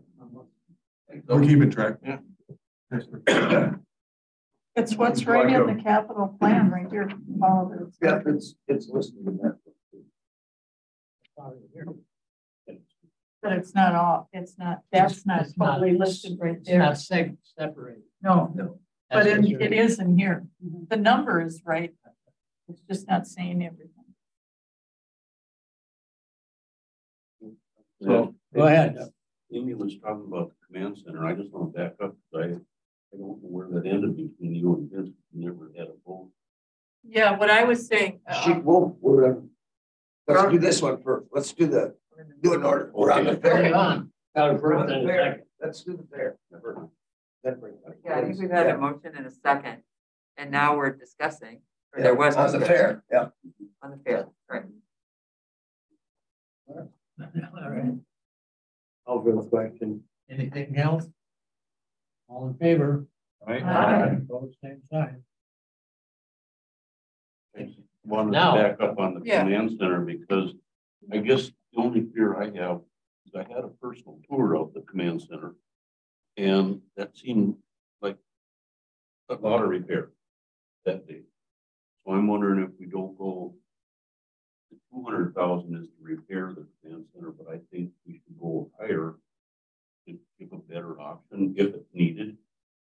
That's kind of what was in there, because he said that the bid that we currently had was around a then, hundred I mean, that's what I'm trying to say, go that, I wasn't sure if Amy was talking the two hundred repair. well, he, Vince said the hundred thousand dollar was the bid for the repairing the current stuff. And then he threw another hundred thousand to sort of outfit it for what the directors needed. So I think I'm comfortable with that. if the Staff gives the report back. two hundred, Yeah. No motion. I believe our sheriff, I believe our sheriff department, Don, is that what you agreed to, that we could be satisfactory? And this is, that we don't need to approve that because it's already. approved. Yeah, I- Yeah, you don't need that. He already did that. You don't need a proposal. Go ahead. All right. so Anybody I'll do else? another one. What else? I'd like. I'll make a motion to, to do the generators. Uh, and I think that is two right there, sixty-seven, because on the other one, it's thirty-three each. Right. Mhm. And the price is going up on those fast. The generator stuff. So I think we should buy the two. So I'm, I would like to say on that line that we do the two issue Sixty-seven, for the sixty-seven. going up in So just- Florida. Just to be clear, Did you already say one on your? Yeah. And this would be the two additional, so we do all three? That way do all three, so it's Right. So did you, was that a motion? I'm sorry. That was a motion, I'll second that. All right. You want to repeat the motion? was to approve this line for the generator The additional Seven, for sixty-seven thousand, that we'd have all three. get a second? Yes. Yeah. Any more discussion? All in favor? Aye. All same thing? Chair, I have, Yes. um, I'd like to add, uh, make motion additional ARC GIS license for the staff that we support for sixteen hundred dollars. Where's that? No, those It is- are. That's, that's, uh, Provisionally. Oh, I'm sorry. These are approved. other page. Sorry. I'd like to make a motion on the museum. Um, the, the bid that Mo got for the windows, that's part of that bell tower. Uh, I mean, they're gonna do all that structural stuff. If those windows don't get replaced, the structural stuff isn't gonna last. The rain's gonna keep coming in. And, um, and then remediating the pool room and the other thing, the part of that fifty-eight thousand was also building a vestibule by the north entrance because you can stand by that north entrance door and the wind just comes right through, the snow comes right through. They tape it up, it still comes in there. And that's not one of the doors that's being replaced um, that we got the yeah. part of that paid for. to do the, the remove the coal room and construct the vestibule and then do the windows and the bell tower. Total of 58 Oh, total of 80 because the 58, the 32 for the windows was, was not included in here. So you want to include it to 90? Uh, 80. 80. Oh, no, it's, it's 90. 32, 90, 90. 90. Right, Dr. Wolf. Right. What was the tower initially? What did we allocate for that? 180, and it came in about, we initially allocated 180, and it, the bid came in at one oh eight. One oh eight. One oh eight. I would, I would second that, because we're going along with what he said, we've been doing things kind of half. Proposal is thirty-two plus, I mean, proposal is fifty-eight plus thirty-two thousand. Additional, uh, get it done right. Yeah. Any more discussion on that? Just have a little, just so I got it straight in my mind. We bid the bell tower for one eighty. Correct. And the bid came back at one oh, One oh eight. one oh eight. So the one eighty was already our. Yes. So, uh, I think this, We don't need a resolution. well, that's, I'm just trying to figure that out. The the bid will cover uh, all but how much? Eighteen thousand. Eighteen thousand. So shouldn't this motion be to increase budget amount for the bell tower eighteen thousand? Well, I, I would say no, and only because it would be, it almost seems a little too loose with the money. If, if we said up to hundred and eighty thousand, the bid comes in at hundred and eight, Use it. and so then somebody goes, oh, well, let's just spend the rest doing this. So I'd rather us be specific as to what we're bidding the money on. Yeah. Just seems to make sense. Well, like, like Sharon said, I mean, when you, when you go in and they start tearing stuff apart, they can find things that need to be fixed. And repair, polish a turd by adding a roof and not fixing the windows, uh, which are a root cause, to me, it's.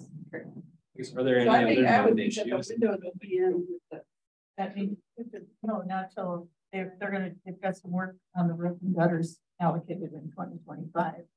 Otherwise, no, because they, they've done a good job keeping up with some of the interior stuff. What's the, um, what's the coal room? Sorry, Well, it used to, that's how they used to heat that building, Yeah. and that's where the coal came in. Yeah. And they stored it, and all it is, it just, water just comes in there all the oh, I time. see. So it's, it's causing humidity in that building, which is bad for the artifacts and stuff. And Mo had estimates on, done on what's the best thing to do, try to fix the water issue and we don't use it for anything? Or do we just get rid of that part? It's a, just a icky old room that nothing, it's not used for anything except to keep water. You know, because the water just comes in. So we do it right and And are we current and confident then with the fifty-eight and the thirty-two? Is that your motion? Yes, That's complete. Yeah. yeah. Any more discussion on it? All in favor? Aye. Opposed, same sign. Okay. Yeah. I would like to see the Justice Center roof improvement.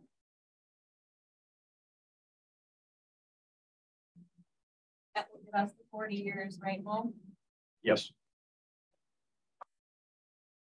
What will this building look like? Years, I- you know, I can't predict.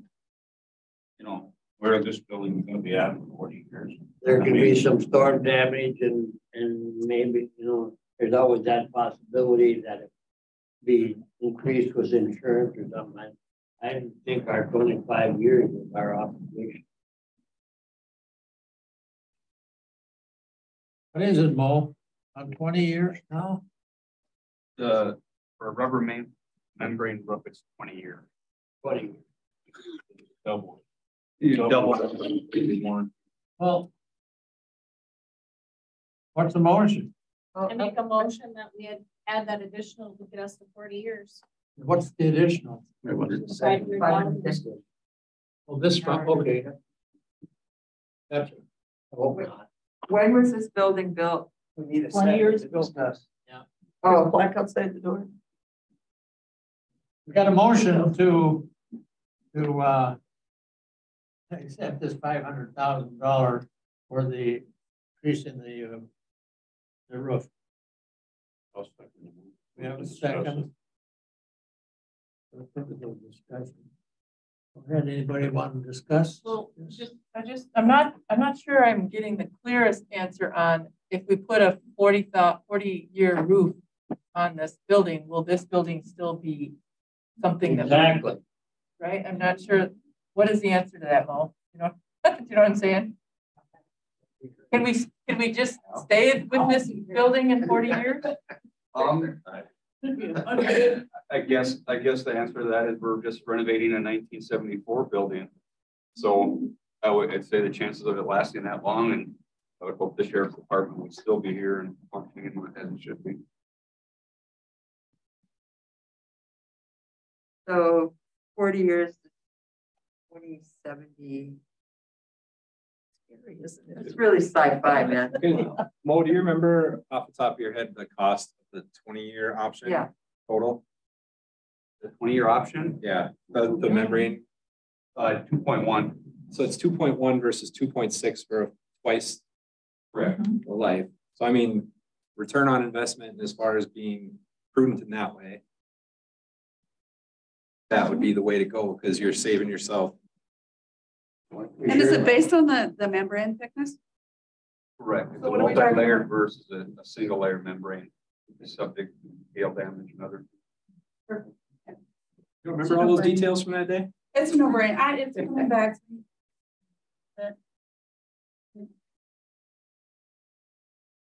Any more discussion? All the question. All in favor? Signify by aye. Aye. Opposed, same sign. I, Ayes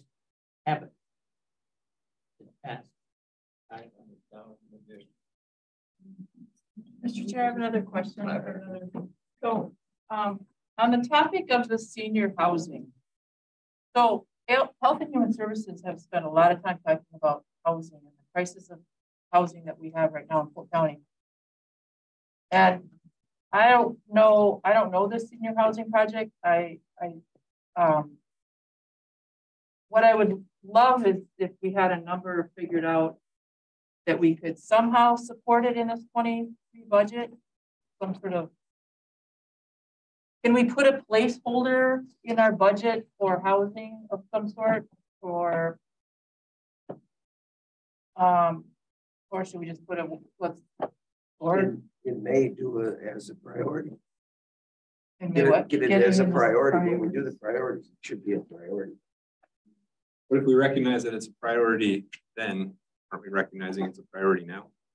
Not necessarily. We don't know if it will be done. Right. So that's, that's the part that we That's miss out. part, That's the part that we miss out on tonight is we get no discussion on it. I think we have an opportunity now to discuss it. I mean, at least so that some of us. Yeah. Is there anything we need to do uh, procedurally to discuss it or? No, it's, it's part of the, On here. right, It's Okay, on here, so, I mean, I'd like to have some kind of presentation that, you know, who's the players here? I mean, is there bankers involved? Is there Contractors involved, is there investors involved? Mr. Chair, haven't you been going to meetings on this? Wait a minute, We have, I've seen. what have been doing with Terry? Was he here? so, the resolution was for you. You can't Howard. discuss that. so I can give the high level on that. If, Yes, please. Um, so the resolution that was drafted comes from the EDC effort to address housing in general. So Terry from the EDC had told me, the director of EDC, told me that there had been a previous effort to address housing in a more general way. And the feedback to him was that it needed to be a more targeted effort. So what he did was he came back with an effort to address senior housing with the idea that by, because we've identified that in Polk County, the availability for senior housing is at zero. And the wait list for the available senior housing is long. Sharon, do you have something? Yep, I do. Um, uh, and St. Croix, that statement doesn't hold for some, all communities. In St. Croix Falls, as fast as they're building homes that seniors are buying, I mean, it's, they call it Little Cushing, one of the areas, because so many people have sold their farms and moved into the senior two-bedroom, two-bath, one-level homes. And as fast as they're building them, they're selling them. So I, I have, that, that's the part, what I see, you know, when we say this, do you have staffs to support that claim? There's a lack of senior housing options. How do we know that? Because we've got a study that was been presented to us three different times in general government that shows the different senior housing facilities, their zero occupancy or their zero vacancy and the length of their wait list. So, and the thing that you just said, that as soon as things are being built, they're also being filled, doesn't change the fact that what I just said, that um, that there's no vacancy, doesn't change. Private enterprise should take care of that. Yes.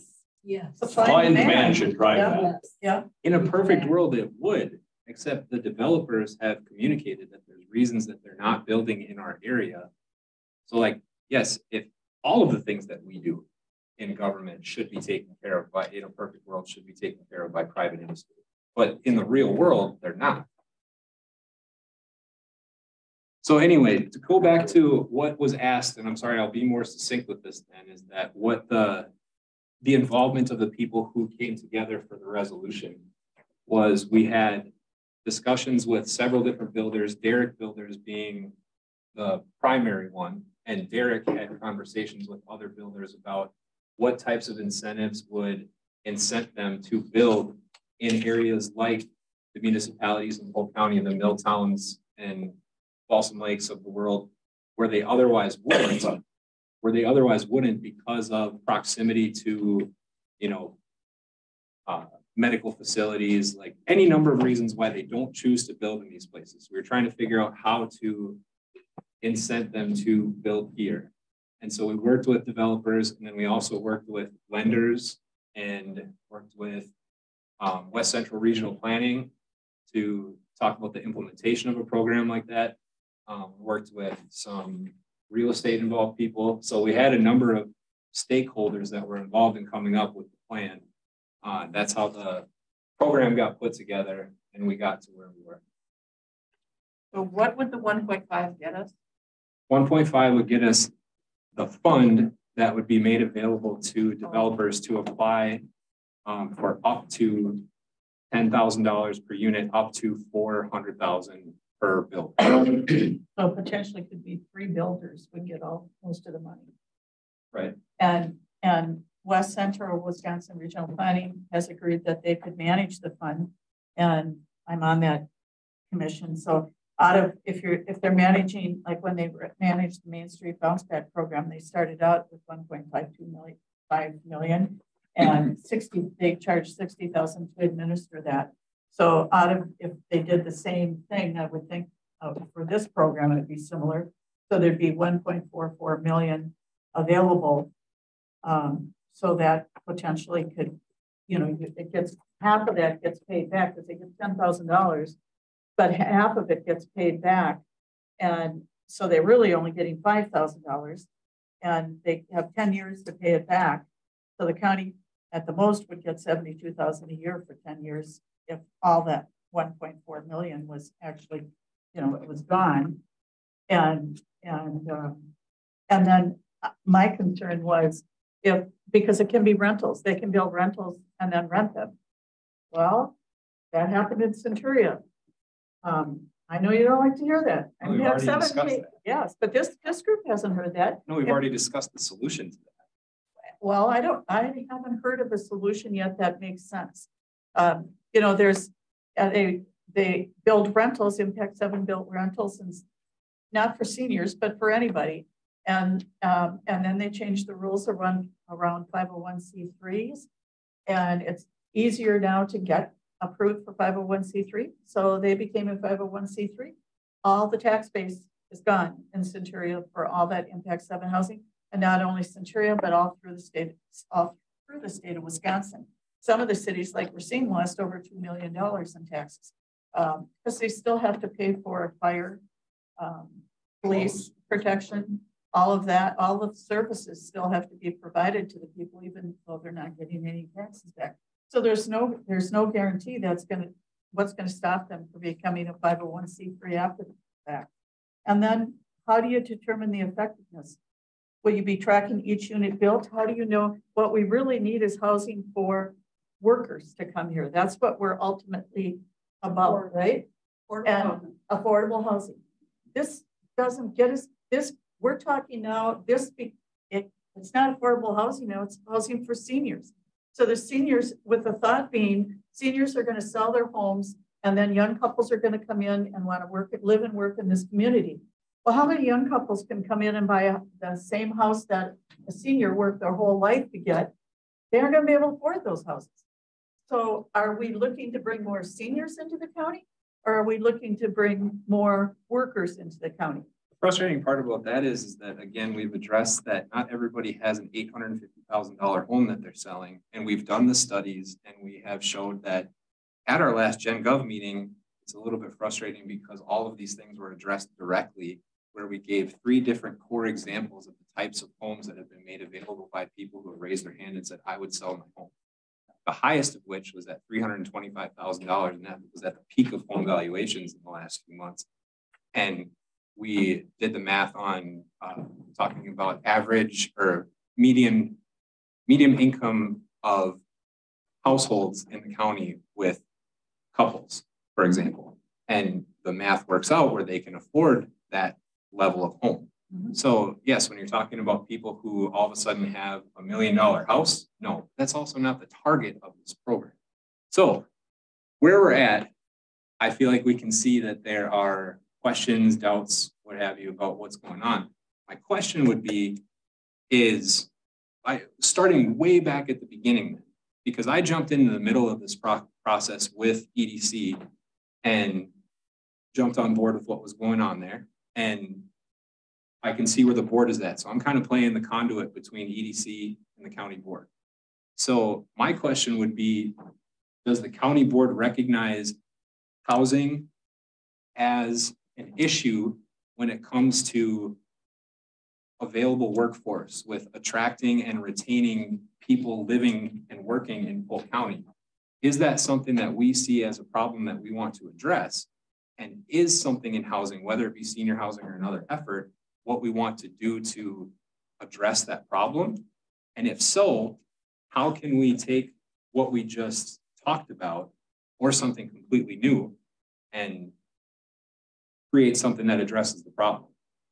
Or is it that we don't think, or is it that this group thinks that housing is not an issue and it's not something that we need to tackle in the foreseeable future? Mr. Chair, can I make a comment? Go ahead. I'm, I'm on the, the Polk County Housing Authority.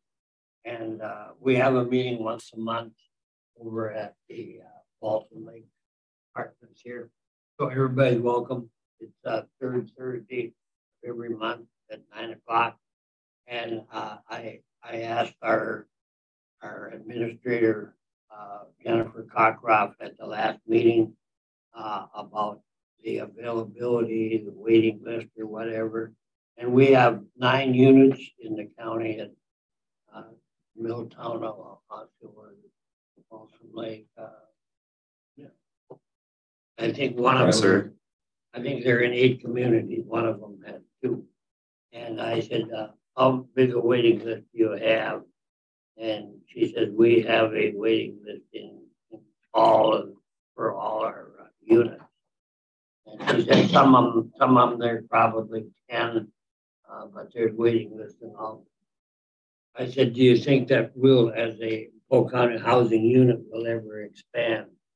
And she said there, there isn't any talk about it because of lack of money. Now that's low income housing, right? Um, Polk County housing. Polk County Yeah, it housing is. But I agree, we need, But we need worker housing. So my thought is, why do we, uh, for demographic, why do we do just senior? Why not housing? So what I was We're, we're trying to take and just take one, down. why not take everybody? so two, Because two when- as different soon as things. you do that in a neighborhood or anything, they want. Uh, Here, I just want to direct, you're kind of getting into a very large philosophical discussion and bring it back to the budget. If you're not going, if nobody's going to make a motion to include something about this in the budget, I think what you can say is this is a topic to continue a discussion on, maybe have a presentation to the full board. Nothing would, stop you from in the future with a two thirds majority amending a budget if you found that there's a really awesome program out there. But I, I just, the whole philosophical isn't really on the agenda, just whether or not you're gonna do something in the budget. We've got a lot to do. well, what, Okay. what has happened St. Croix Falls did that. They tried to just do specific. I tried.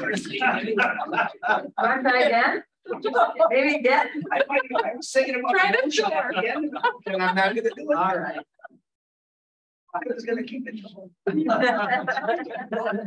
Any other budget items that want to be addressed? So you know, we're at two point two two five million. At Without all the overruns. Yeah. So we're right. Oh, We said we had four point two five. So it's standing, quit spending, is what you're saying. Anybody else have something they want to? I, I do. Got a credit card in that, um, right there. So the demolition of the old jail, does it need to be destroyed and it couldn't be used for, for something? I, I don't know, I don't know. That was just- that was. Just That's repurpose. just something, that's just a. You mean for, for the vehicles or the. uh, Senior level. No, or like the covered cafeteria, you know, I, creatively thinking of how you can reuse. It's that. good building. Well. If it is- That would be. Yeah. Those items are. You can make a motion, I know they are. Make a motion down here. That's just to keep in mind for the future as you decide how much you want to spend there. credit card, we're moving on. Ross, get us on track. Anybody else want anything to, uh? Chop go the card. about budget addition? Cards cut, we're moving on. Hmm. Hmm, hmm, Then going back to the resolution. Are there any more? No. All right, we're going on to resolution forty-five twenty-two. Need a motion. Second. You can have it. Any question on this? Any discussion? Does the motion include all the changes Right. that were just made? Right. Okay. Oh, this,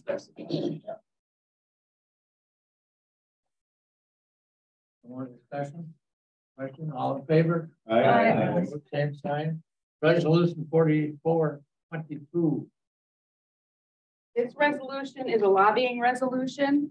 It is recommended from the Environmental Services Committee that deals with tax deed foreclosures. It is also recommended by the Wisconsin Counties Association Attorney in general in concept.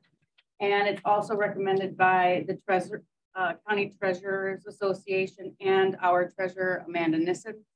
There was a change in the law that arguably was to protect homeowners' interest in equity in their home when taken by a county uh, by way of tax deed foreclosure, but there are so many ambiguities within the law that it leaves a lot of questions, a lot of open liability. So all nearly all of the counties are asking the legislature to fix it. That's what this resolution is. And I'll be taking that resolution, if we pass it, I'll be taking it to the Wisconsin County. Move to approve. Second. Motion made and seconded. Any More discussion? All in favor? Aye. Opposed, same sign. Uh, any appointments by the county Oh, board? number 11. I don't know. Oh. Update on the county Oh, clerk. yeah. Um, I can just tell you that, uh, per your direction, the next county clerk, uh, needs to be appointed by the board. And we put out an ad and have received as of yesterday afternoon, seven applicants. And so my next question for you is, is how do you want to proceed? Do you, in other words, would you want staff, myself, you to vet some? Would you like all the information of all the candidates? Uh, Do you want a committee to then review it, or do you want it to come back to the full board in November? Go ahead, Kim. My thought is have HR then. I mean, like you do any other employee, like we've done before. And then bring down one or two or whatever, give it down to that. Right. HR would probably bring back all minimally qualified candidates. Um, and the difference between other jobs and this one is that, you know, you determine the qualifications because you get to appoint to fill the remainder of the term. So I think what, what we could do is have HR assign a few subject matter experts to review, rank them, you know, like maybe even in sections. So you're not saying our first choice, second choice, but these are like the top tier. These are, you know, what, or if there are concerns like they have a felony and they couldn't hold the office. I mean, things that would exclude them, but they could bring those and that way you could then decide. I also think assigning it to general government because they fall within that division and having general government maybe make a recommendation and they can take a harder look at the applications. That way it's not 15 of you all reviewing applications. And they have to be a resident of Polk County. Or willing to move into the county by the time they would be appointed, yes. Is that a, uh, Do we need a motion for that or, I think or we can- consensus? Do you need a motion for that? are we gonna, Consensus. We can Consensus work? general consensus? Put it on the general government agenda with those. All right. General consensus, did everybody understand what, uh, counsel told us? Go ahead. Oh, you did, you're just saying, yeah. Okay, uh, I have one question. go ahead. Uh, Vince, I, I don't remember if you had mentioned anything about this. Has that position ever been just always a, uh, an appointed position or a, a hired position or? No, I, I know it is. Has it? Statute, statute. So it's always been. It's the state statute. State statute that the county clerk has to be elected? Yes. Oh, okay. But then when the absence, then if there's not a deputy clerk, we can. you know, Okay, generally, uh, anybody that agrees with the, uh, the counselor, uh, signify by just saying aye. Aye. Anybody disagree with her? Now or forever. Somebody did one. I think we got, the- I think we got the idea that what we're gonna do from now to resolve this problem. Number twelve. Appointments by the county board chair, there are none. County administrator, has zero. County board chair's report is, I think you pretty well understand everything that I do in reference to what what's happening in the county because we discussed it and discussed it in, in the last few meetings, so there's no reason for me to elaborate on anything that I don't understand any better than you. Uh, administrator probably do the same thing. You might have different. Just got a few things. First of all, the status of the clerk's office. Uh, got a lot of change, right? Lisa leaving, Ivana, who is our primary deputy clerk, uh, will be leaving soon for a very important matter, and she'll be out of the office for a while. Uh, but so Shabana, the other deputy that we have is Katie Schultz. She is our new deputy clerk. And in addition to that, because they're short-handed at a very important time, we have Anastasia Smith, who is currently our receptionist in the main building, is going to step in and help with the clerk's office. Tammy Peterson, who is here tonight, uh, is going to take on more responsibilities. Uh, when Shabana leaves, she'll be kind of the uh, oversight or the acting person there to uh, lead that organization because she's got the experience of doing this uh, many times over. And uh, in addition, the election, in addition to the folks I've mentioned, uh, Tammy and Gail Wasberg from the Veterans Office will be working on election night. Will oversee the canvassing that's required after the election. Lisa Ross has volunteered or has said she will help on election night as well. So we're happy to have her back for that. And uh, that's what I have on the clerk's office. So we're working to get people filled that know, you know, what they're doing so that we can uh, keep things running as smoothly as possible. Secondly, Northwood Tech signage. If you saw the new sign, it's out front. Uh, Northwood Tech came to me a while back and said, we need better signage. And I, yeah, you do. We want you to have signage. And they agreed to provide that signage and put uh, Polk County top billing uh, so that they, you know, just that big sign out there is nice, the brick one. It's not lit up real well. People don't notice. It. And I think this new black bright sign along the highway there is, is going to be helpful. Um, good news for GAM. They were voted. It's a nice thing. Uh, Amery's best nursing home slash senior living facility and the best place to work. So congrats to uh, wow. Dana Reese and her. And then finally, as a reminder, equestrian season on Star Trail is open.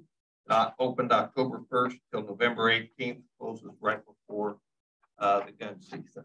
Good, Good idea, right? That's Okay, like Okay. Supervisor, the uh, reports, reference to meetings, Johnny? Uh, I've been to uh, every spring and fall as a representative to the county. We have uh, uh, meetings at uh, Stevens Point, uh, legislative, uh, human service, our, our committee, basically. And one thing I wanted to bring out, and Jay, uh, town everybody lives in the township. Um, what's going to be changing, they've already agreed to it basically. What's going to be changing is the uh, funding on uh, revenue sharing. The state of Wisconsin has a $5 billion surplus.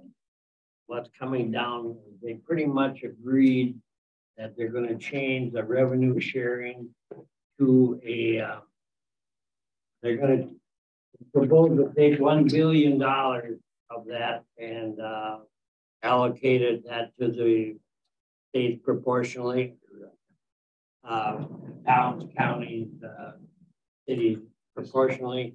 And from now on, they plan on funding through the sales tax. So instead of basically money coming from the taxpayer for that, it would be a nice thing about that, the sales tax is people from out of state are, are helping our. So I thought that was a big thing mentioning. I'll be going uh, uh, to Stevens Point again this Friday uh, the only one I'm not going to is the 28th, uh, Stevens Point. And I'm having an auction on the 29th, and there's something there for everybody. Live auction the 29th. Thank you, folks. Anybody else have anything they want to comment on or discuss? Questions? Move to adjourn. All in favor? Aye. We are adjourned.